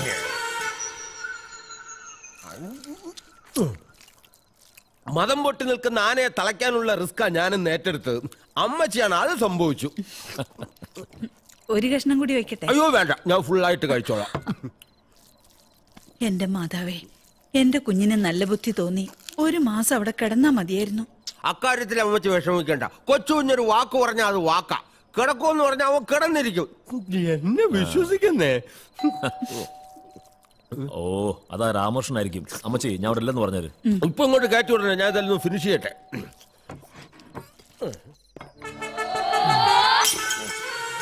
ഈശോമിശിയെ സ്തുതിയായിരിക്കട്ടെ ആരാ? ഞാൻ ഡോക്ടർ തോമസ് വൈദ്യൻ. കൊച്ചുറ്റിന്റെ അമ്മച്ചിയല്ലയോ? അതെ. അയ്യോ, ഈശോയെ അമ്മച്ചി. ഈ അമ്മച്ചി പുണ്യ ചെയ്ത അമ്മച്ചിയ. പതിനാല് വർഷം മുമ്പ് ഞാൻ മദ്യപാനം നിർത്തിയെന്നു മാത്രമല്ല മദ്യപാനികളെ ചികിത്സിക്കാൻ വേണ്ടിയുള്ള ഒരു ആശുപത്രി ഞാൻ തുടങ്ങി. മോനെ വിശേഷ. മോചനം പക്ഷെ പ്രതിജ്ഞ തെറ്റിച്ച് ഇന്ന് ഞാൻ നല്ലോണം ചെലുത്തി. ഇവിടെ ഉണ്ടായിരുന്നു ഇഞ്ചി വന്നേ. നമ്മുടെ ലോകം ഇന്ന് എവിടെ എത്തി നിൽക്കുന്നു? ഭൂമിക്ക് മേളിലുള്ള ഓസോൺ പാളികളിൽ സുഷിരങ്ങൾ വീണോണ്ടിരിക്കുന്നു ഏറെ റഹ്മാൻ ഓസ് ഉം? എന്തുകൊണ്ട് വടക്കൻ വീട്ടിലെ വീരഗാഥയെ കൊച്ചുകുഞ്ഞിനെ കറ കിട്ടിയില്ല അതാണ് എനിക്ക് വിഷമം. പരമാവധി പോയാൽ നമ്മുടെ ഭൂമി ഏതാണ്ട് രണ്ടായിരത്തി അമ്പതോടെ തീരും. ഉരുകി തീരും. ഈ സത്യം ഞാൻ പറഞ്ഞല്ല അറിവും വിവരവും ജീവിത അനുഭവമുള്ള ഇവിടുത്തെ കൊച്ചു പറഞ്ഞതാ. അങ്ങനെ നശിക്കാൻ പോകുന്ന ഭൂമിയിൽ ആർക്ക് വേണ്ടി എന്റെ ഡോക്ടറെ കള്ളൊക്കെ വേണ്ടെന്ന് വെക്കുന്നത്? നമുക്ക് അടിച്ചെങ്കിൽ ജീവിച്ച പോരേ എന്ന് ഇവിടുത്തെ കൊച്ചു എന്നോട് ചോദിച്ചപ്പോ എന്റെ ചങ്ക് തകർന്നു. പിന്നെ ഒന്നും ആലോചിച്ചില്ല. ഒന്നല്ല രണ്ട് ഫുള്ളങ്ങി തീർത്തു. സ്വസ്തി വാടയാടി അമ്മച്ചി അമ്മച്ചിയുടെ മോനൊരു മഹാപ്രസ്ഥാനമാണ്. അമ്മച്ചി ആ പ്രസ്ഥാനത്തെ പ്രസവിച്ച അമ്മച്ചിയുടെ പാദം തൊട്ട് വന്നിക്കാനാണ് ഈ തോമസ് വൈദ്യ ഇപ്പൊ ഇങ്ങോട്ട് കയറി വന്ന്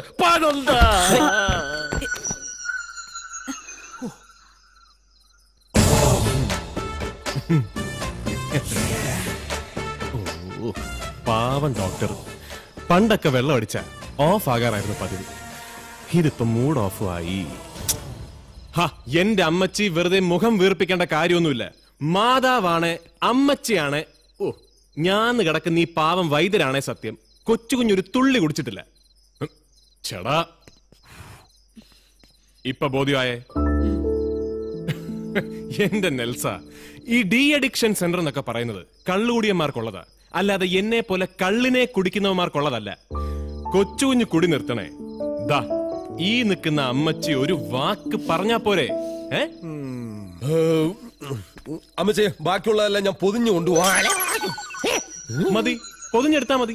പക്ഷെ എടുക്കുന്നത് എങ്ങനാണേലും നേരം വെളുക്കുന്നതിന് മുമ്പ് ഈ കിടക്കുന്ന ബോഡിയെ തിരിച്ച് മോചനത്തിലോട്ട് എത്തിച്ചേക്കണം. വെള്ളം അടിക്കാത്തോണ്ട് ഭയങ്കര വിഷം. അങ്കിൾ.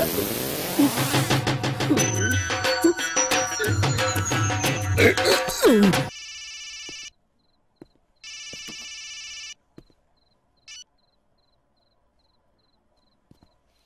ശർമ്മജി. നന്ദന് ചെന്നൈ സെൻട്രൽ ജയിലേക്ക് മാറ്റിയാച്ച്. ഞാൻ അറിഞ്ഞു അവനെ എത്രയും പെട്ടെന്ന് ജാമ്യത്തിൽ ഇറക്കാനുള്ള ഏർപ്പാടിയാണ്. അതിന് എത്ര ചെലവായാലും ആര് ജാമ്യം നിൽക്കേണ്ടി വന്നാലും എനിക്കതൊരു പ്രശ്നമല്ല. ജാമ്യം കിടക്കും അത് പ്രശ്നമില്ല. പക്ഷേ അവർ മൂന്ന് പേരും ഇപ്പൊ അതേ ചെയ്യില്ല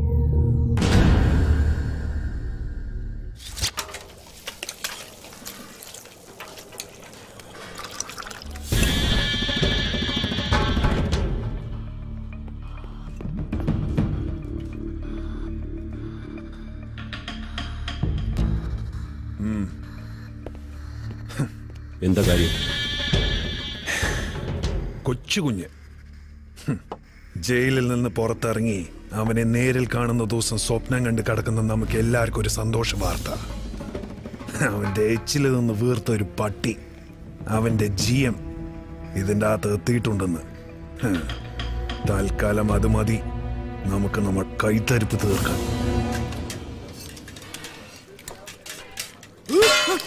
ഹും. ഇത്രകാലം അവന്റെ എച്ചിൽ പുറമെ നിന്ന് നക്കിയതും പോരാഞ്ഞിട്ട് നീയൊക്കെ ഇതിനകത്ത് കയറി വന്ന് വെട്ടി വിഴുങ്ങും അല്ലടാ സാല കൊത്ത്. ഏ?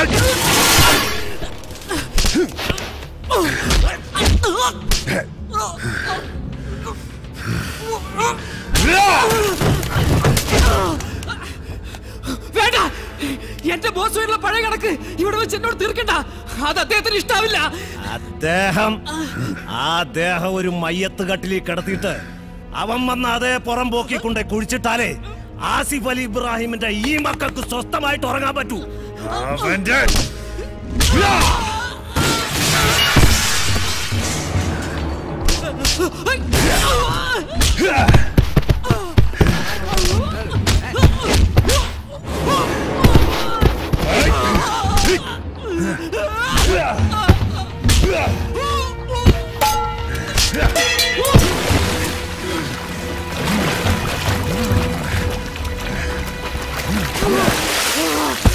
അൻവറെ വേണ്ട. ഞാൻ പറയുന്നൊന്ന് കേൾക്ക്. എന്നെ കൊന്നാലും നിങ്ങൾക്ക് എന്റെ കൊച്ചുകുഞ്ഞോട് ജയിക്കാൻ പറ്റില്ല. അവന്റെ ഒരു കൊച്ചുഞ്ഞ്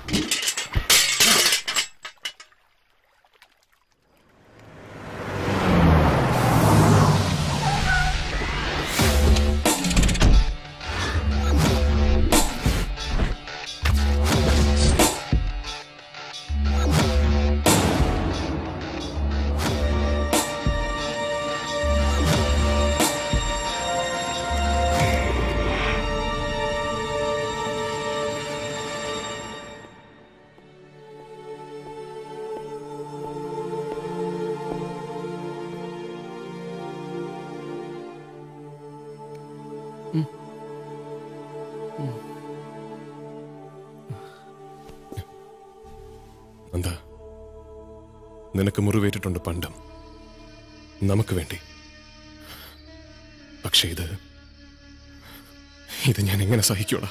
സഹിക്കണം. സഹിച്ചേ പറ്റൂ. പറ്റില്ല എനിക്ക്. നിന്നെ വേദനിപ്പിച്ചത് ആരാണെങ്കിലും വെച്ചേക്കില്ല ഞാൻ. ശർമ്മജി എനിക്ക് വേണം അവരെ. അവരുടെ തട്ടകത്തിൽ. അത് ജയിലിലാണെങ്കിൽ അങ്ങനെ. വേണ്ട കൊച്ചു. ഞാൻ പറയുന്ന ഒന്ന് കേക്ക്. ഇതൊന്നും സാരമില്ല. പലതവണ നീ തന്നെ പറഞ്ഞിട്ടില്ലേ അവരൊക്കെ കൂടപ്പിറപ്പുകളാണെന്ന്. കാൽ പിടിച്ച് അപേക്ഷിക്കാൻ ഞാൻ. അവരെ അത് വേണ്ട. നന്ദ എന്നെ തടയാൻ നീ നോക്കണ്ട? ഒന്നും പറയണ്ട. ഈ മനസ്സ് എനിക്കറിയാം. അതുകൊണ്ടാ പറയുന്നത്. ആ മക്കൾ എന്ത് വേണം ചെയ്തോട്ടെ? പക്ഷെ ആറു വർഷം ഒരച്ഛനെ പോലെ നമുക്കൊക്കെ സ്നേഹം തന്ന ആസിഫ് ഭായിയെ ഓർത്തിട്ട് വേണ്ട. പ്ലീസ്.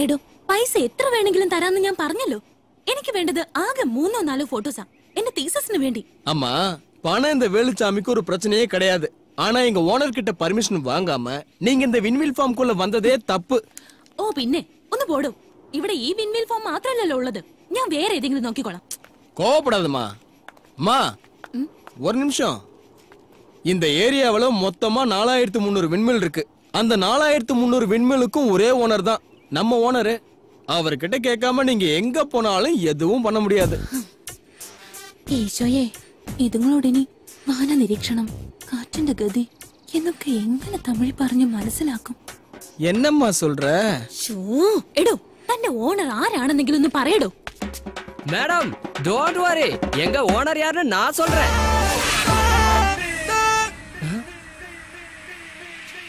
பாத்தீங்களா நம்ம தலைவரோட டைமிங்க சொல்லி முடிக்கிறதுக்குள்ள வந்துட்டாரு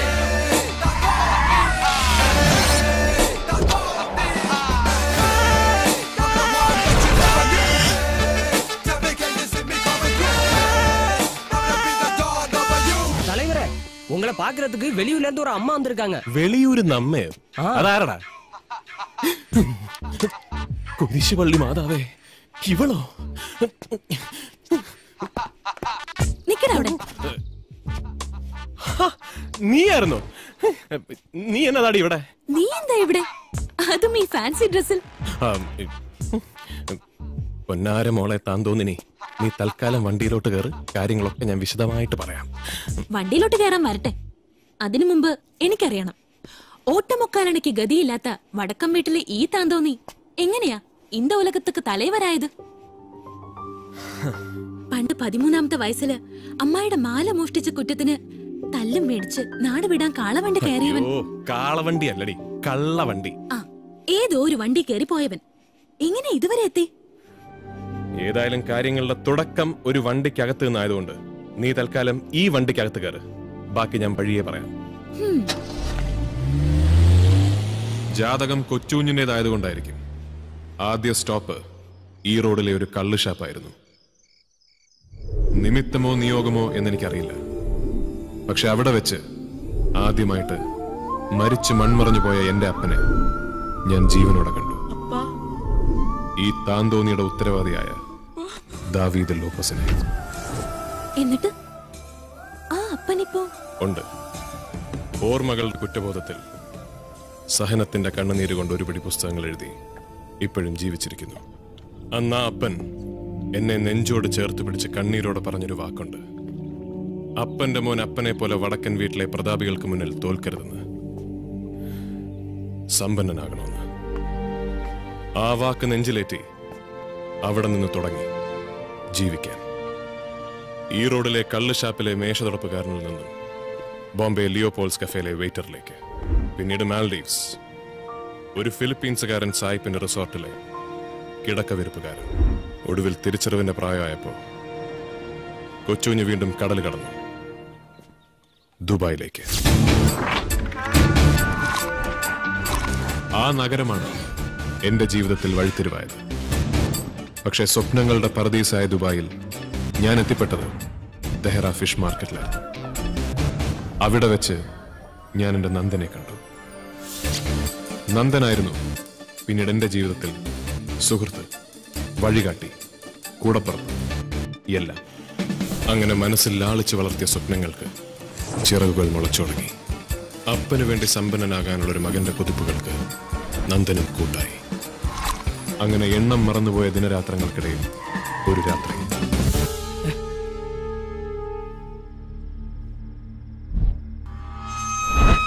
കൊച്ചു എന്തോ പ്രശ്നമുണ്ട്. നീ വണ്ടി തിരിക്കേ. കൊച്ചു!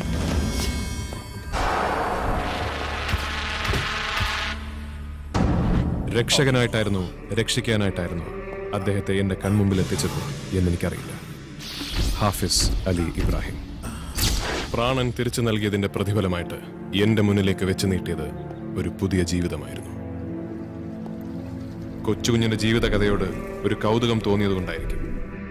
കൂടെ നിൽക്കുന്നോ എന്ന വലിയ മനുഷ്യൻ അന്ന് ചോദിച്ചു.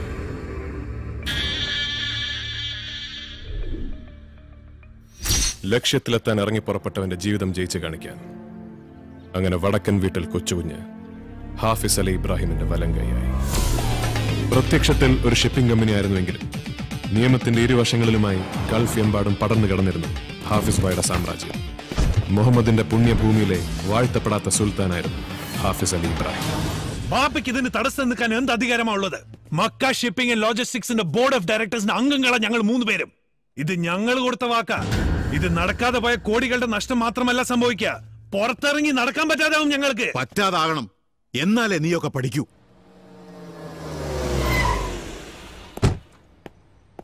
കൊല്ലം കൊറേയായി ഹാഫിസ് അലി ഇബ്രാഹിമിന്റെ നിഴലിൽ ജീവിക്കാൻ തുടങ്ങി ഞങ്ങൾ മൂന്നുപേരും. ഇനി ഞങ്ങൾക്കും വേണം ഒരു ജീവിതം. അതിന് വിളങ്ങ് തടിയായി നിൽക്കുന്നവരെ എങ്ങനെ ഒഴിവാക്കണമെന്ന് ഞങ്ങൾക്കറിയാം.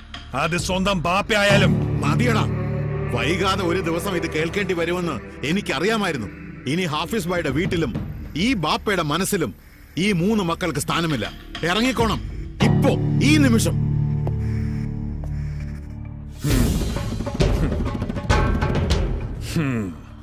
വന്നല്ലോ. വിശ്വസ്തനായ വാലാട്ടി പട്ടി. കിളവൻ ചത്തൊടുങ്ങുന്നതിന് മുമ്പേ നാല് കാശ് സമ്പാദിച്ച ഒരു ജീവിതം ഉണ്ടാക്കാൻ നോക്കടാ.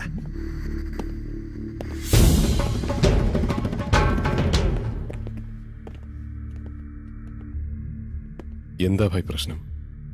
പ്രശ്നം എന്റെ വിധിയാണ്. ജന്മം കൊടുത്ത മക്കളായി പോയില്ലേ? കർമ്മം കൊണ്ട് ഒഴിഞ്ഞാലും ധർമ്മം കൊണ്ട് ഒഴിയില്ലല്ലോ ആ ബന്ധം മെക്ക ഷിപ്പിംഗിന്റെ ബാനറിൽ കറാച്ചിയിലേക്ക് ഒരു കണ്ടെയ്നർ ആർ ഡി എക്സ് കടത്താനുള്ള കാശും വാങ്ങി വന്നിരിക്കുക ഹറാം പിറന്നവന്മാര് ഹാഫിസ് അലി ഇബ്രാഹിമിന്റെ കയ്യിൽ ഇന്ന് വരെ ഒരു നിരപരാധിയുടെയും ചോര വീണിട്ടില്ല. ഇനി വീഴ്ത്തിക്കയില്ല ഞാൻ.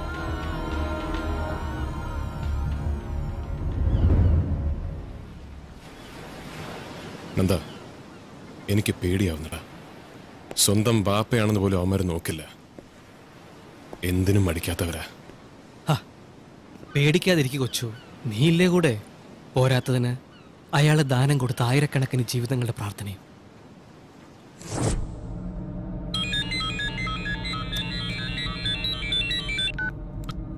ഹലോ ഭായ്.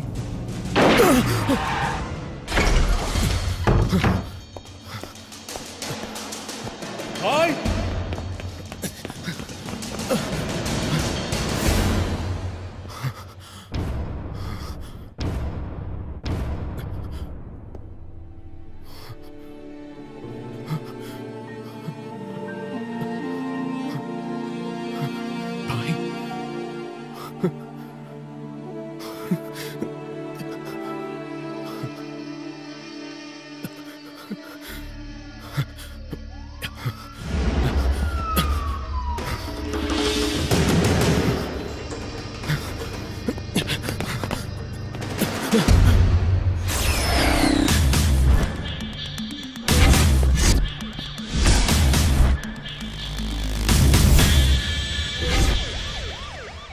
ചതിയായിരുന്നു സ്വന്തം അച്ഛനെ പോലെ സ്നേഹിച്ച ആ മനുഷ്യന്റെ കൊലപാതക കുറ്റം എന്റെ തലയിൽ കെട്ടിവെച്ചതിന്റെ പേരിൽ നാലു കൊല്ലം നരകിച്ചു ഞാൻ ദുബായ് ജയിലിൽ നാലു കൊല്ലം വേണ്ടി വന്നു എന്റെ നിരപരാധിത്വം തെളിയിക്കപ്പെടാൻ ഒടുവിൽ അത് തെളിയിക്കപ്പെട്ടതിന്റെ പിന്നിൽ എന്റെ ജീവിതത്തിലെ അടുത്ത അധ്യായമായിരുന്നു അഡ്വക്കേറ്റ് ആനന്ദ് ശർമ്മ பல வருஷங்களுக்கு முன்னாடியே அவர் பிள்ளைங்களை பத்தி அவருக்கு தெரிஞ்சிருக்கு அதனால தான் அவர் கஷ்டப்பட்டு சம்பாதிச்ச சொத்தை அவங்க பேருக்கு அவர் எழுதி வைக்கல ஆபீஸ் அலி இப்ராஹிம் என்ற സാമ്രാജ്യം ഹും, ഇനി നിന്റെ കയ്യിലാണ് പകർന്നു കിട്ടിയ ഉത്തരവാദിത്വത്തിന്റെയും സംരക്ഷിക്കാൻ കിട്ടിയ സാമ്രാജ്യത്തിന്റെയും ബലത്തിൽ അങ്ങനെ വടക്കൻ വീട്ടിൽ കൊച്ചുകുഞ്ഞ് ഭായിയായി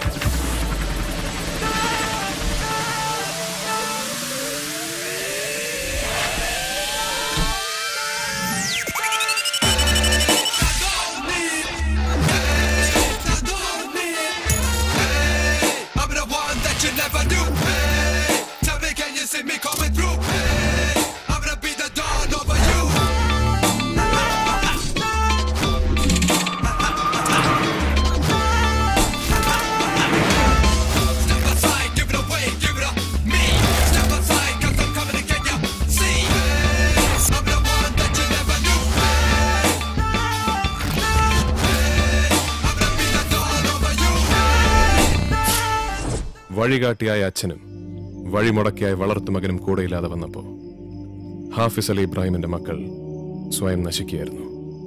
ഒരു തെറ്റിൽ നിന്നും മറ്റൊരു തെറ്റിലേക്ക്. പക്ഷേ ഒടുവിൽ പിടിക്കപ്പെട്ടു. ഇവിടെ ഇന്ത്യയിൽ വെച്ച്. തൂത്തുക്കുടി ഹാർബറിൽ വന്നിറങ്ങി രണ്ട് carton A K fifty six rifles Tamil Nadu police കണ്ടെടുത്തു. ജീവപര്യന്തമായിരുന്നു.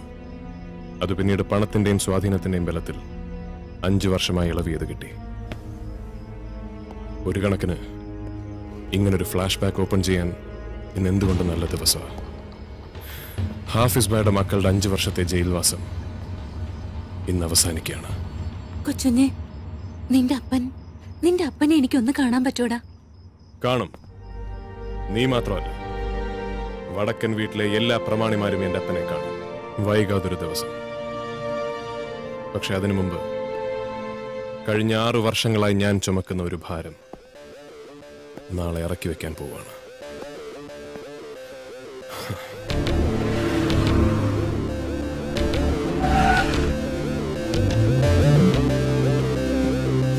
எதுக்காக அர்ஜென்ட்டா என்ன பார்க்கணும்னு சொன்னேன்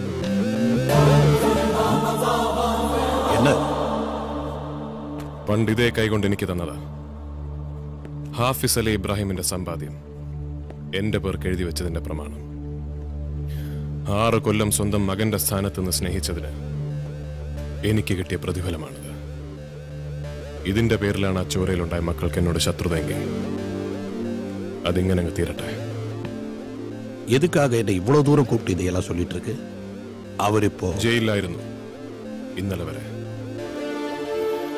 അഞ്ചു കൊല്ലത്തെ ശിക്ഷ കഴിഞ്ഞ് പുറത്തിറങ്ങുമ്പോൾ ഇത് തിരിച്ചു കൊടുക്കാൻ നല്ലത് ശർമാജി തന്നെയാണെന്ന് എനിക്ക് തോന്നി நன்னாய். உன் நல்ல மனசுக்கு நீ எவ்வளவோ சம்பாதிச்சிட்ட. இந்த சொத்துக்காக அவங்களுக்கு உன் மேல இருக்கிற பகை முடியுதுன்னா அது முடியட்டும் போறேன்.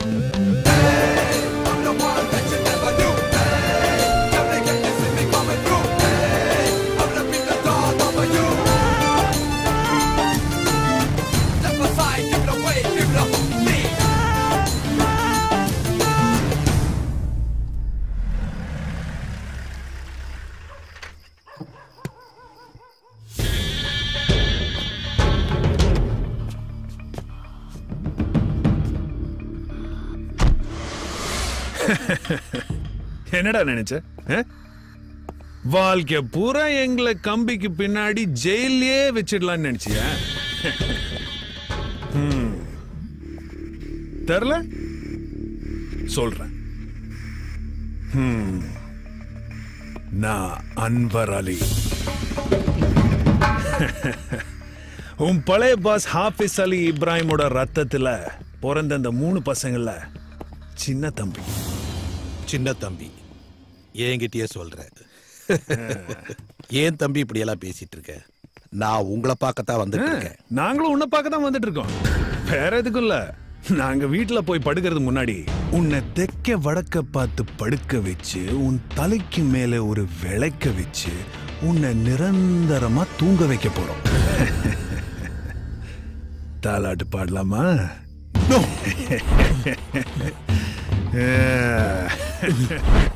என்ன ஒண்ணும் பண்ணிடாத. நான் நியாயத்துக்காக தான் வாதாடிட்டு இருக்கேன். உங்க உங்க சொத்தை எல்லாம். நீ சொல்றது கேட்கறதுக்கு நாங்க தயாரல்ல. இனிமே நீ நியாயம் பேசுறதுக்கு நாக்கில்ல நாக்கு இல்ல. உன் கோர வழியே இருக்காது.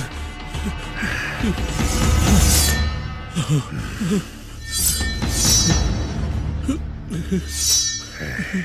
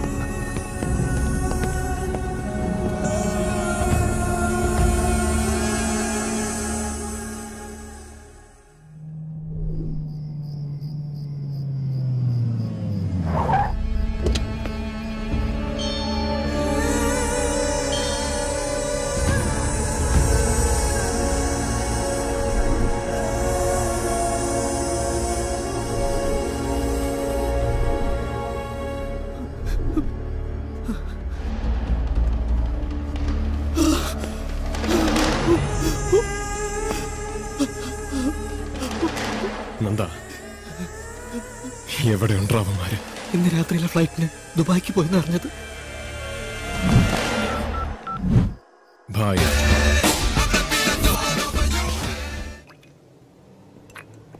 ദാ അൻവർ രാവിലെ വിളിച്ച അഫ്ഗാനിയാ നീ ആ ഫോൺ ഒന്ന് എടുക്ക് हेलो सलामकुम भाईजान बस सब आपकी दुआ से खैरियत है हाँ जी बिल्कुल मिल सकता है ഇൻഷാല്ല ഖുദാഫിസ് ഇന്ന് വൈകിട്ട് അവരെ ഡെസേർട്ട് ക്യാമ്പിൽ കാണാമെന്ന്. ഇത് നടന്നാൽ നാൽപ്പത് കോടി രൂപയാ. പക്ഷെ പൈസയുടേതല്ല. അഞ്ചു കൊല്ലത്തിന്റെ ഇടവേളയ്ക്ക് ശേഷം ഹാഫിസലയുടെ മക്കൾ കളി മറന്നിട്ടില്ല എന്ന് കാണിക്കാൻ പറ്റുന്ന ഒരു അവസരമാണ്.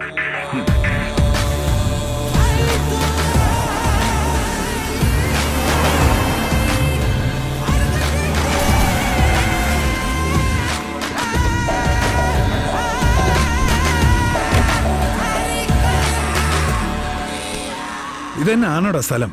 ഇത് തന്നെ. ബലേസ ഡെസേർട്ട് ക്യാമ്പ്. ഇത് പൂട്ടിക്കിടക്കാണല്ലോ. നീ ഒന്ന് ഫോൺ ചെയ്ത് നോക്കിയേ. റേഞ്ചും കാണിക്കുന്നില്ല.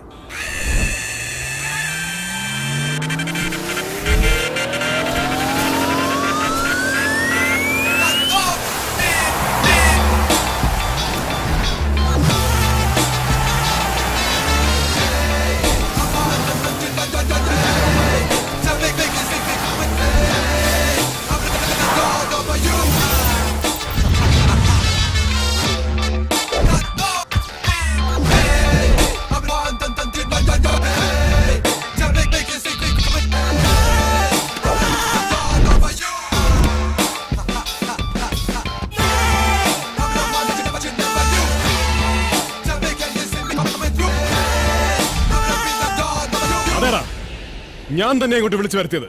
നിന്റെയൊക്കെ ഒടുക്കത്തെ കൂട്ടുകച്ചവടത്തിന് പണക്കൊതി മൂത്ത് ആദ്യം സ്വന്തം തന്തേ പിന്നെ എത്രയോ പാവങ്ങളെ. ഒടുവിൽ നിന്റെയൊക്കെ ആർത്തി തീർക്കാൻ പണ്ട് എനിക്ക് സമ്മാനമായി കിട്ടിയ ഈ സ്നേഹസമ്പാദ്യം തിരിച്ചു തരാൻ വന്ന പാവ മനുഷ്യനെ.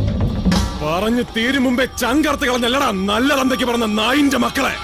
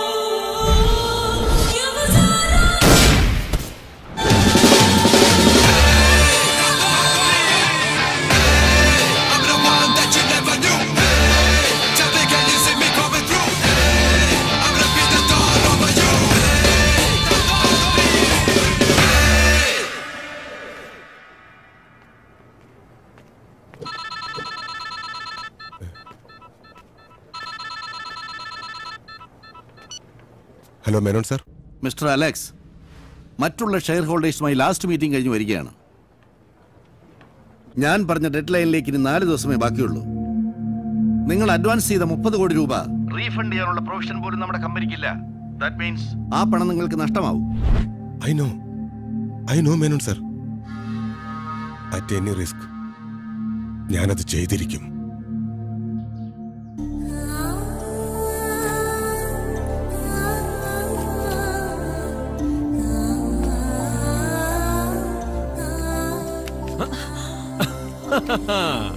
ഇപ്പോഴല്ലേ പിടികിട്ടിയത്? എന്റെ മുറിയിൽ നിന്ന് സ്ഥിരമായിട്ട് പുസ്തകങ്ങൾ അടിച്ചു മാറ്റുന്നത് കത്രീനാമച്ചി എന്ന് പറയുന്ന ഈ കള്ളത്തിയാണെന്ന്. നീ അതിങ്ങോട്ട് താടാ. ഇതെന്നാ? നീലന്റെ സൃഷ്ടി വായിച്ചൊരല്പം സെന്റിമെന്റലായ മട്ടുണ്ടല്ലോ. ഏ? ആരാധന തോന്നുന്നുണ്ടോ എന്റെ അമ്മച്ചിക്ക്? ഈ സൃഷ്ടാവിനോട്. എന്നതാന്നറിയില്ല. അമ്മച്ചിയുടെ ജീവിതം അങ്ങനെ അങ്ങ് വരച്ചു വെച്ചതുപോലുണ്ട്. അതുകൊണ്ടല്ലേ കൊച്ചുകുഞ്ഞിത് മേടിച്ച് കൈ വെച്ചിരിക്കുന്നത്? പണ്ട് നാട് വിട്ട് അലഞ്ഞപ്പോ ഏതോ ഒരു പാതിരാത്രിയിൽ കണ്ടുമുട്ടിയതായി എഴുത്തുകാരന്. പിന്നെ പിന്നെ ഇറങ്ങുന്ന പുതിയ സൃഷ്ടികളെല്ലാം മുടങ്ങാതിങ് എത്തിച്ചേരും. ആ അത് പോട്ടെ. ഈ അമ്മായിമാരെന്നാത്തിന് അത്യാവശ്യമായിട്ട് കാണണമെന്ന് പറഞ്ഞു അത് അമ്മായിമാര് തന്നെ പറയാം. ഇവിടെ നിപ്പുണ്ടായിരുന്നോ. നിന്നല്ലേ പറ്റത്തുള്ളൂ മോനെ. ഇപ്പൊ കാര്യങ്ങളൊക്കെ നിന്റെ കയ്യിലല്ലയോ? അയ്യോ അതെന്നാ പറ്റി?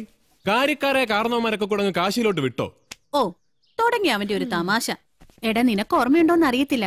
നിന്നെ പെറ്റിട്ടതേ ദേ ഈ കയ്യിലോട്ടാ. ആഹാ അപ്പൊ എന്റെ ഈ നിൽക്കുന്ന പൊന്നാര അമ്മായി പണ്ടൊക്കെ വടക്കം വീട്ടിലെ വയറ്റാട്ടിയായിരുന്നോ? ഏ? എടാ നീ വെറുതെ തോക്കി കയറി വെടിവെക്കാൻ നിൽക്കാതെ അമ്മായിമാർക്ക് പറയാനുള്ളത് എന്നാന്ന് വെച്ചാ കേക്ക്. പറഞ്ഞോളൂ അമ്മായി. ഇനിയും പറഞ്ഞോളൂ. എന്ത് വേണേ കേക്കാൻ ഞാൻ റെഡിയാണ്. വളച്ചു കേട്ടില്ലാതെ ഉള്ള കാര്യം ഞാനങ്ങ് പറഞ്ഞേക്കാം. എടാ കൊച്ചേ ഓ. അന്ന് അമ്മാവന്മാരായിട്ട് കൊച്ചുങ്ങളെ എല്ലാം വിളിച്ചു വരുത്തിയേച്ച് അങ്ങോട്ട് പറഞ്ഞതാ. അവരവർക്കുള്ളത് അങ്ങ് വീതിച്ച് തന്നേക്കാന്ന്. ആ അത് വെച്ച് അവരേതാണ്ടൊക്കെ മനക്കണക്ക് കൂട്ടിയിരിക്കുവോ. ഇതിപ്പോ പുറമേക്കാര് കേട്ട എന്നതാ പറയാ? വിളിച്ചു വരുത്തി ഇല ഇട്ടേച്ച് ചോറില്ലാന്ന് പറഞ്ഞ പോലെ ആയിന്നല്ലേ? അല്ലേ? അങ്ങനെ. അപ്പൊ ചുരുക്കം പറഞ്ഞ ഇവിടെ ഇപ്പൊ എല്ലാരും ഇലയും ഇട്ട് ഉണ്ണാനിരിക്കുകയാണെന്നർത്ഥം അമ്മായിമാര് പറഞ്ഞാട്ടെ ആ ഇലയിലോട്ട് ഞാൻ എന്നതാ വിളമ്പേണ്ടത്? പുളിശ്ശേരി വിളമ്പണോ അതോ പുളി ഇഞ്ചി വിളമ്പണോ? നീ നല്ല കൊച്ചായിട്ട് നിന്ന് അതിലേക്ക് ഒരു ഒപ്പിട്ട് കൊടുത്താൽ മാത്രം മതി. അത്രേ ഉള്ളോ. ഞാൻ എപ്പോഴേ റെഡി ദാ ഇപ്പോ ഈ നിന്ന നിപ്പിൽ ഒപ്പിട്ട് തരാൻ കൊച്ചുഞ്ഞു റെഡിയാ മാതാവാണ് സത്യം. മാതാവോ? മലയാറ്റൂർ മല മുത്തപ്പനാണേ സത്യം.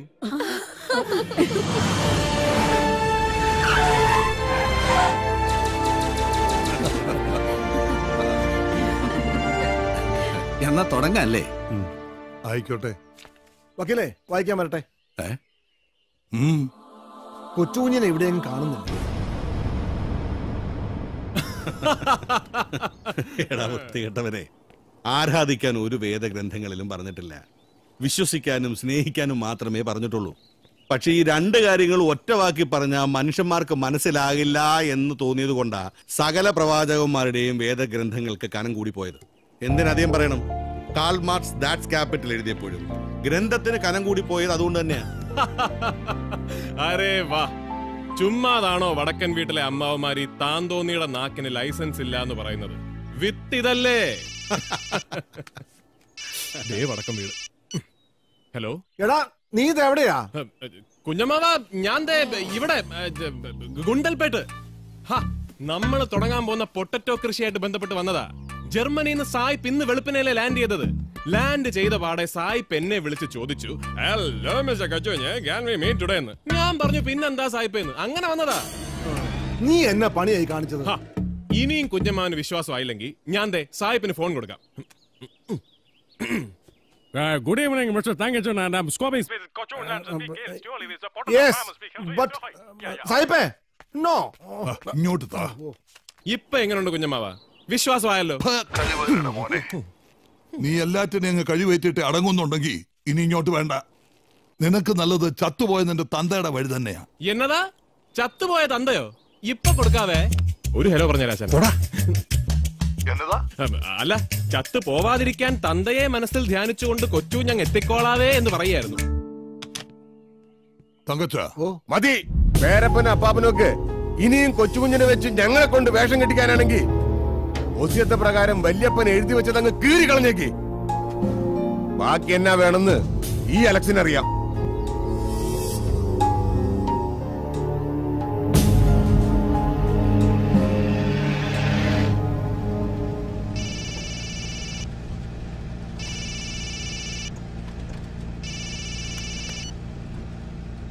എന്നതാ അമ്മച്ചി? ഞാൻ വരുവാന്നേ. വല്യമ്മാവൻ എഴുപത് വയസ്സ് തികഞ്ഞില്ലേ? തമാശ കളഞ്ഞേ. രണ്ടു ദിവസമായി വിളിച്ചിട്ട് കിട്ടാഞ്ഞപ്പോ മനസ്സിനൊരാതി. നീ ഇങ്ങോട്ട് വാടാ. അല്ലെങ്കിൽ എനിക്കൊരു മനസമാധാനം കിട്ടത്തില്ല. ഇവിടാണെങ്കി എല്ലാരും എത്തിയിട്ടുണ്ട്. ഇനി ഇതിന്റെ പേരിൽ അമ്മച്ചി വെച്ചേക്ക്. ഞാൻ ദാ എത്തി. ഞാൻ തറവാട്ടിലേക്കുള്ള ഈ ഗിയർ ഒന്ന് മാറ്റിക്കോട്ടെ.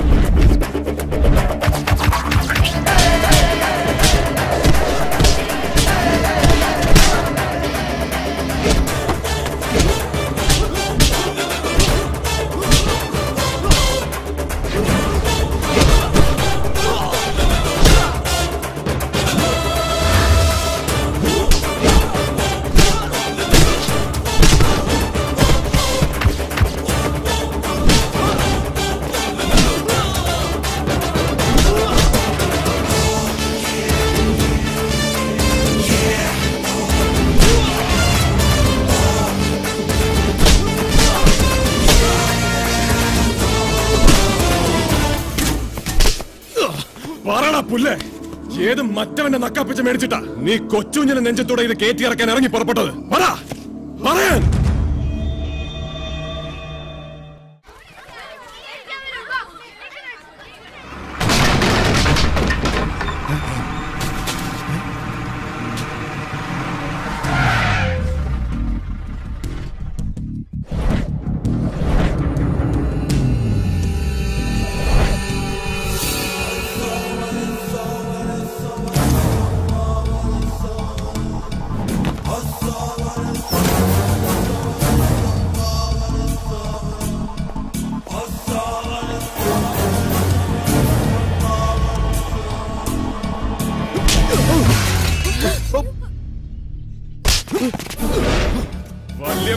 സപ്തതി ഈ നിൽക്കുന്ന കൊച്ചനിയന്റെ അടിയന്തരം ഒരുമിച്ചുണ്ടിട്ട് നീയൊക്കെ അടങ്ങും. അല്ലടാ ചേട്ടൻ കഴിവറണ പോലെ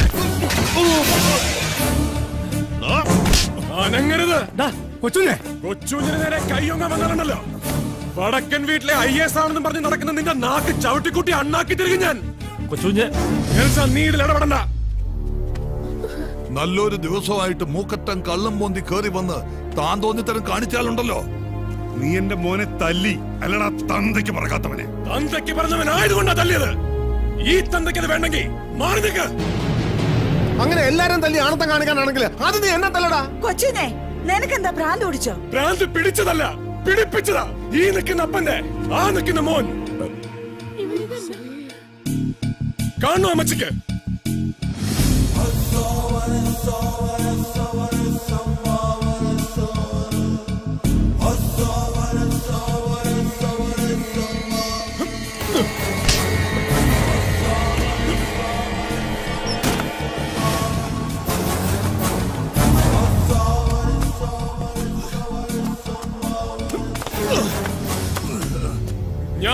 ബാക്കി.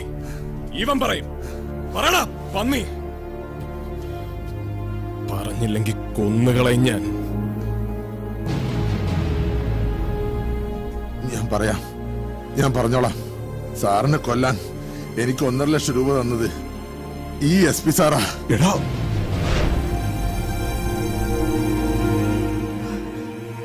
കേട്ടല്ലോ? വടക്കൻ വീട്ടിലെ അമ്മാവന്മാരും ചേട്ടായിമാരും ഒക്കെ. ഈ കൊച്ചനിയനെ വളർത്താനല്ല കൊല്ലാനാ ഇവന് കാശെണ്ണി കൊടുത്തത്. അത് എന്നാത്തിന്റെ പേരിലാണെന്ന് എനിക്ക് ഇപ്പൊ അറിയണം. എന്നാടാ? ഇവനെ പറഞ്ഞു പറഞ്ഞൊക്കെ നേരാണോ? നേരാണോ നേര് തന്നെയാ. വല്യപ്പന്റെ ഒസിയത്ത് പ്രകാരം ഈ കാണുന്നതെല്ലാം വിഹിതം വെക്കാൻ ഇവനുണ്ടെങ്കിലേ മതിയാവുന്നുള്ള അഹങ്കാരം വെച്ച് പിന്നെയും പിന്നെയും ഇത്രയും മീശ മുളച്ചോമാരെ കൊരങ്ങ് കളിപ്പിക്കാൻ തുടങ്ങിയപ്പോ ഇവൻ അങ്ങ് തീർത്ത് കളഞ്ഞേക്കാമെന്ന് ഞങ്ങൾ തന്നെയാ തീരുമാനിച്ചത്. പ്രൈവറ്റ് ഹാർബറിന് വേണ്ടി മുന്നൂറ് കോടിയുടെ ഷെയർ ഒപ്പിട്ടതും മുപ്പത് കോടി അഡ്വാൻസ് കൊടുത്തതും എല്ലാം കൂടെ ചേർത്ത് സായിപ്പിന്റെ കോത്താഴ്ത്തി എഴുതി തള്ളൻ തോന്നിയില്ല. എനിക്ക് മാത്രമല്ല ഇവന്മാർക്കും. ഇല്ലെന്ന് ഇവർ പറയട്ടെ. എങ്ങനുണ്ടമ്മാവ സ്വത്തും സമ്പാദ്യം സ്വന്തമാക്കാൻ വടക്കൻ വീട്ടിലെ തമ്പ്രാക്കന്മാരെ നല്ല കുഞ്ഞാടുകളെ വളർത്തിയ മക്കൾ ആവർത്തിച്ച് കലഹിക്കുന്ന സ്വപ്നം കണ്ടപ്പോ അതിൽ ഇങ്ങനൊരു സീൻ കണ്ടിരുന്നോ? സ്വന്തം കൂടപ്പുറപ്പിനെ കൊന്നു തള്ളാൻ കൊട്ടേഷൻ പാർട്ടിക്ക് കാശെണ്ണി കൊടുക്കുന്ന സീൻ തറവാടും തന്തമാരും അന്നും ഇന്നും ഒന്ന് തന്നെ ആയതുകൊണ്ട് ചിലപ്പോ കണ്ടു കാണും. പണ്ടും അത് തന്നെയാണല്ലോ ശീലം. കൊന്നു തള്ളാൻ കാശണ്ണി കൊടുക്കുന്നത് ഇതാദ്യമായിട്ടല്ലല്ലോ. ആണെന്ന് പറയാൻ പറ്റുമോ വല്യമ്മാവന്? ഈ താന്തോതിയുടെ മുഖത്ത് നോക്കി. നടക്കട്ടെ. എഴുപത് തികഞ്ഞതിന്റെ ആഘോഷവും അതിന്റെ പേരിലുള്ള വെട്ടുവീഴുകളും എല്ലാം നടക്കട്ടെ. ഇത്രയും കാലം ജീവിച്ചതിന്റെ തട്ടുകട തീർക്കാനും ഇനിയും ചെയ്തു കൂട്ടാൻ പോകുന്നതിന്റെ കണക്കെടുപ്പ് നടത്താനും ആയിരം പൂർണയന്ത്രന്മാരെ കണ്ട് അഹങ്കരിച്ച് ജീവിക്കാൻ ഈ ആയുസ് ഇനിയും ബാക്കിയുണ്ടാന്ന് വ്യാമോഹിക്കണ്ട. നല്ല നേരം നോക്കി മാമൂദ് സമുക്കി. നാല് നേരം അന്നം കൊടുത്ത് തീറ്റിപ്പോറ്റി വളർത്തിയ മക്കളോടും കൂടി പറഞ്ഞേക്ക്. വക്കീലേ? എന്തോ? ഏത് പ്രമാണത്തിലോട്ടാ കൊച്ചുകുഞ്ഞ് ഒപ്പിടേണ്ടതെന്ന് വെച്ചാ? പറഞ്ഞാ മതി. അത് മറ്റൊന്നും കൊണ്ടല്ല. ഇനി ഈ തറവാട്ടുമുറ്റത്ത് ഇപ്പൊ കണ്ട പോലെ കൂടപ്പുറപ്പുകളായിട്ടൊരു യുദ്ധം ആവർത്തിക്കാതിരിക്കാനാ. പിന്നെ? എല്ലാം കൂടെ വീതിച്ച് വിളമ്പി കഴിവേറ്റുമ്പോ അതിന്ന് ഒരു തരി ഒരു തരി മണ്ണി കൊച്ചുഞ്ഞിന് വേണ്ട. ഈ രണ്ട് മനസ്സല്ലാതെ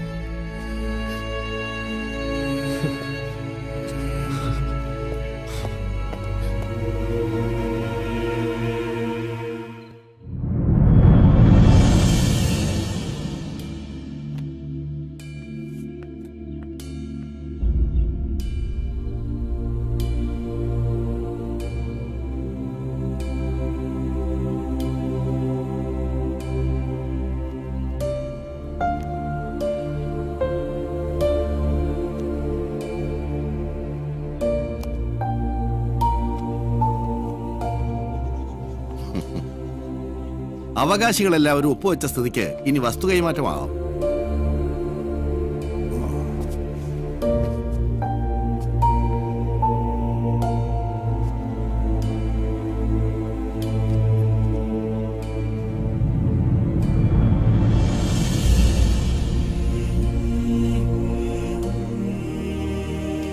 ഈ കൈമാറുന്നത് ഒരു വസ്തുവിന്റെ പ്രമാണമല്ല.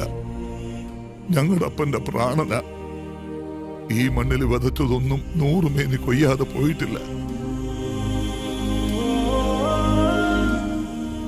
ஆண்டவா பழனி முருகா இல்ல சார் அப்பாவும் மக்களும் சின்ன மக்களும் பிராணன் சமம் உண்டாக்கி எடுத்த சொத்து கண்டிப்பா இங்கத்தான் இது போல காணும் அதும் நூற்றுக்கு நூறு மேனி விளைஞ்சுதான் காணும் இது வாங்குறதுக்கு சரியாய உணர் நான் இல்லை நாம் வெறும் பினாமி அந்த பெரிய ஆளு தோ வராரு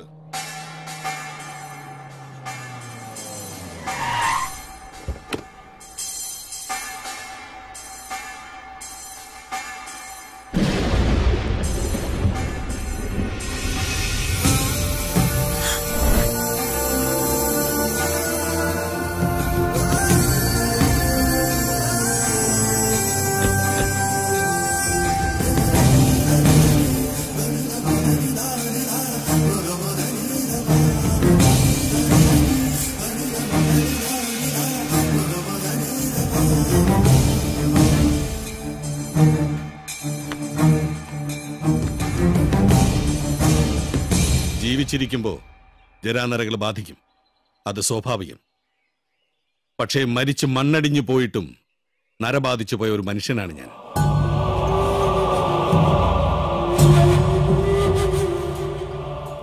ഇനിയും മനസ്സിലായില്ലെങ്കിൽ പറയാം. പണ്ട് ഊരിതന്റെ ഈ മുറ്റത്ത് കയറി വന്നൊരു നാടകക്കാരനാണ്. പേര് ദാവീദ്.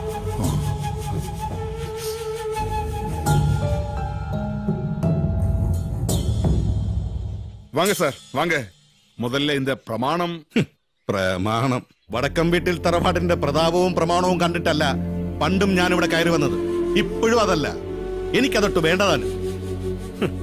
പണ്ട് ഇവിടുത്തെ പടിപ്പുരയ്ക്ക് കീഴെ എനിക്കൊരിടം തന്ന വടക്കം വീട്ടിൽ കൊച്ചൗസേപ്പ് എന്ന വലിയ മനുഷ്യൻ ചോരയും വിയർപ്പ് ഒഴുക്കി ഉണ്ടാക്കിയ ഈ മണ്ണ് എനിക്ക് വേണ്ട അത് സ്വന്തമാക്കാനും അനുഭവിക്കാനും മാത്രം വളർന്ന ഒരുത്തനുണ്ട് ഇവിടെ ഈ ഊരുതണ്ടിയുടെ ചോരയില് ഈ തറവാട്ടിലെ തന്തയ്ക്ക് പറഞ്ഞതല്ല അമ്മയ്ക്ക് പറഞ്ഞൊരു മകൻ. നിങ്ങളൊക്കെ ഓമന പേരിട്ട് വിളിച്ച ഈ താന്തോന്നി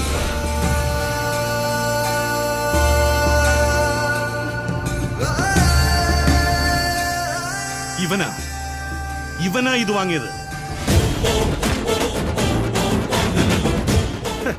അതിനും മാത്രം വളർന്നിട്ട് തന്നെയാ ഇവൻ നിങ്ങളുടെ മുമ്പിലൊക്കെ അഭിനയിച്ചതും.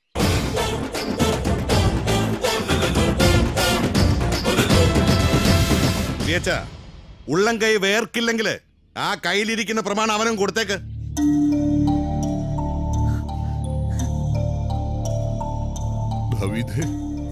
വേണ്ട. പ്രതാപത്തിന്റെ അഹങ്കാരം കൊണ്ട് ലോകത്തിൽ ഇന്നേ വരെ ഒരു മണിമാളികയും ആകാശത്തോളം ഉയർന്നിട്ടില്ലടോ. എന്നും നന്മയുടെ ആ ആകാശം കൈവെള്ള കൊണ്ട് തൊട്ടത് കലാകാരനാ. വാളുകൊണ്ട് ഒരു തല കൊയ്യാനാവും. പക്ഷെ വാക്കുകൊണ്ട് മുറിയുന്നത് മനസ്സാ. അതുകൊണ്ടായിരിക്കും. അന്നെന്നെ മണ്ണിട്ട് മൂടാൻ നീലകണ്ഠന്റെ കയ്യിൽ നിങ്ങളൊരു കൊടുവാൾ കൊടുത്തു വിട്ടപ്പോ അവനതിന് പറ്റാതെ പോയത്.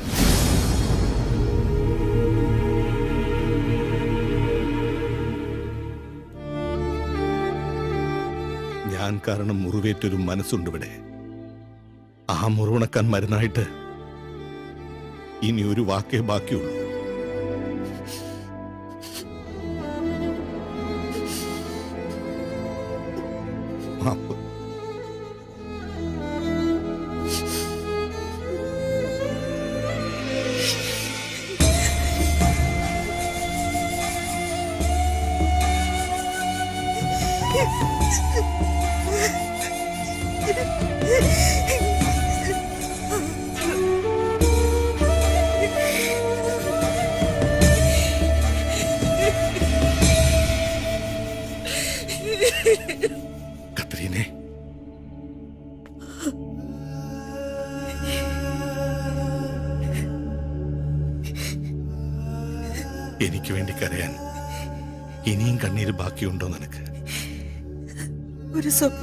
പോലും വിശ്വസിക്കാൻ പറ്റുന്നില്ല എനിക്ക്.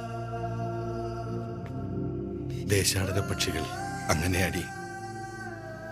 ഏതോ ദേശത്ത് ഏതോ ജില്ലയിൽ കൂടുവയ്ക്കും. പിന്നെ പിന്നെ രാവും പകലും കടലുകൾ താണ്ടി ആ കൂട്ടിലേക്ക് പറന്നെത്തുന്നത് അവരുടെ മക്കളായിരിക്കും. ലക്ഷ്യത്തിലെത്തും മുമ്പേ ചിറകൊടിഞ്ഞു പോയ ഈ ദേശാടന പക്ഷിക്ക് പണ്ട് വെച്ച ജില്ലയിലെ കൂട്ടിലേക്ക് പറന്നെത്താൻ നീ ഒരു മോനെ തന്നു. അപ്പന്റെ വഴികാട്ടിയായ എന്റെ കുട്ടിക്കുറുപ്പൻ. നിന്റെ താൻ തോന്നി ആശാനെ ഓവറാക്കല്ലേ? ആശാനേന്നോ? അപ്പാന്ന് വിളിയടാ താൻ തോന്നി അമ്മച്ചേ ഇനി എന്നെ ഇവിടുന്ന് അടിച്ചിറക്കിയാലും വേണ്ടതല്ല ഞാനൊരു കാര്യം അങ്ങോട്ട് ചെയ്യാൻ പോവാ.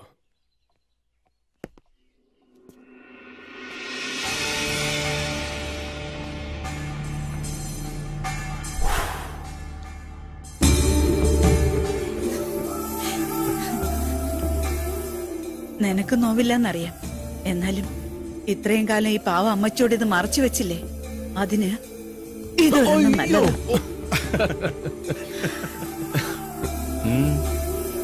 ഇപ്പൊ സന്തോഷമായല്ലോ എന്റെ മോനെ. സന്തോഷം. അങ്ങനെ കാറ്റു പറഞ്ഞതും കടൽ പറഞ്ഞതും കാലം പറഞ്ഞതും പൊള്ളാണേ.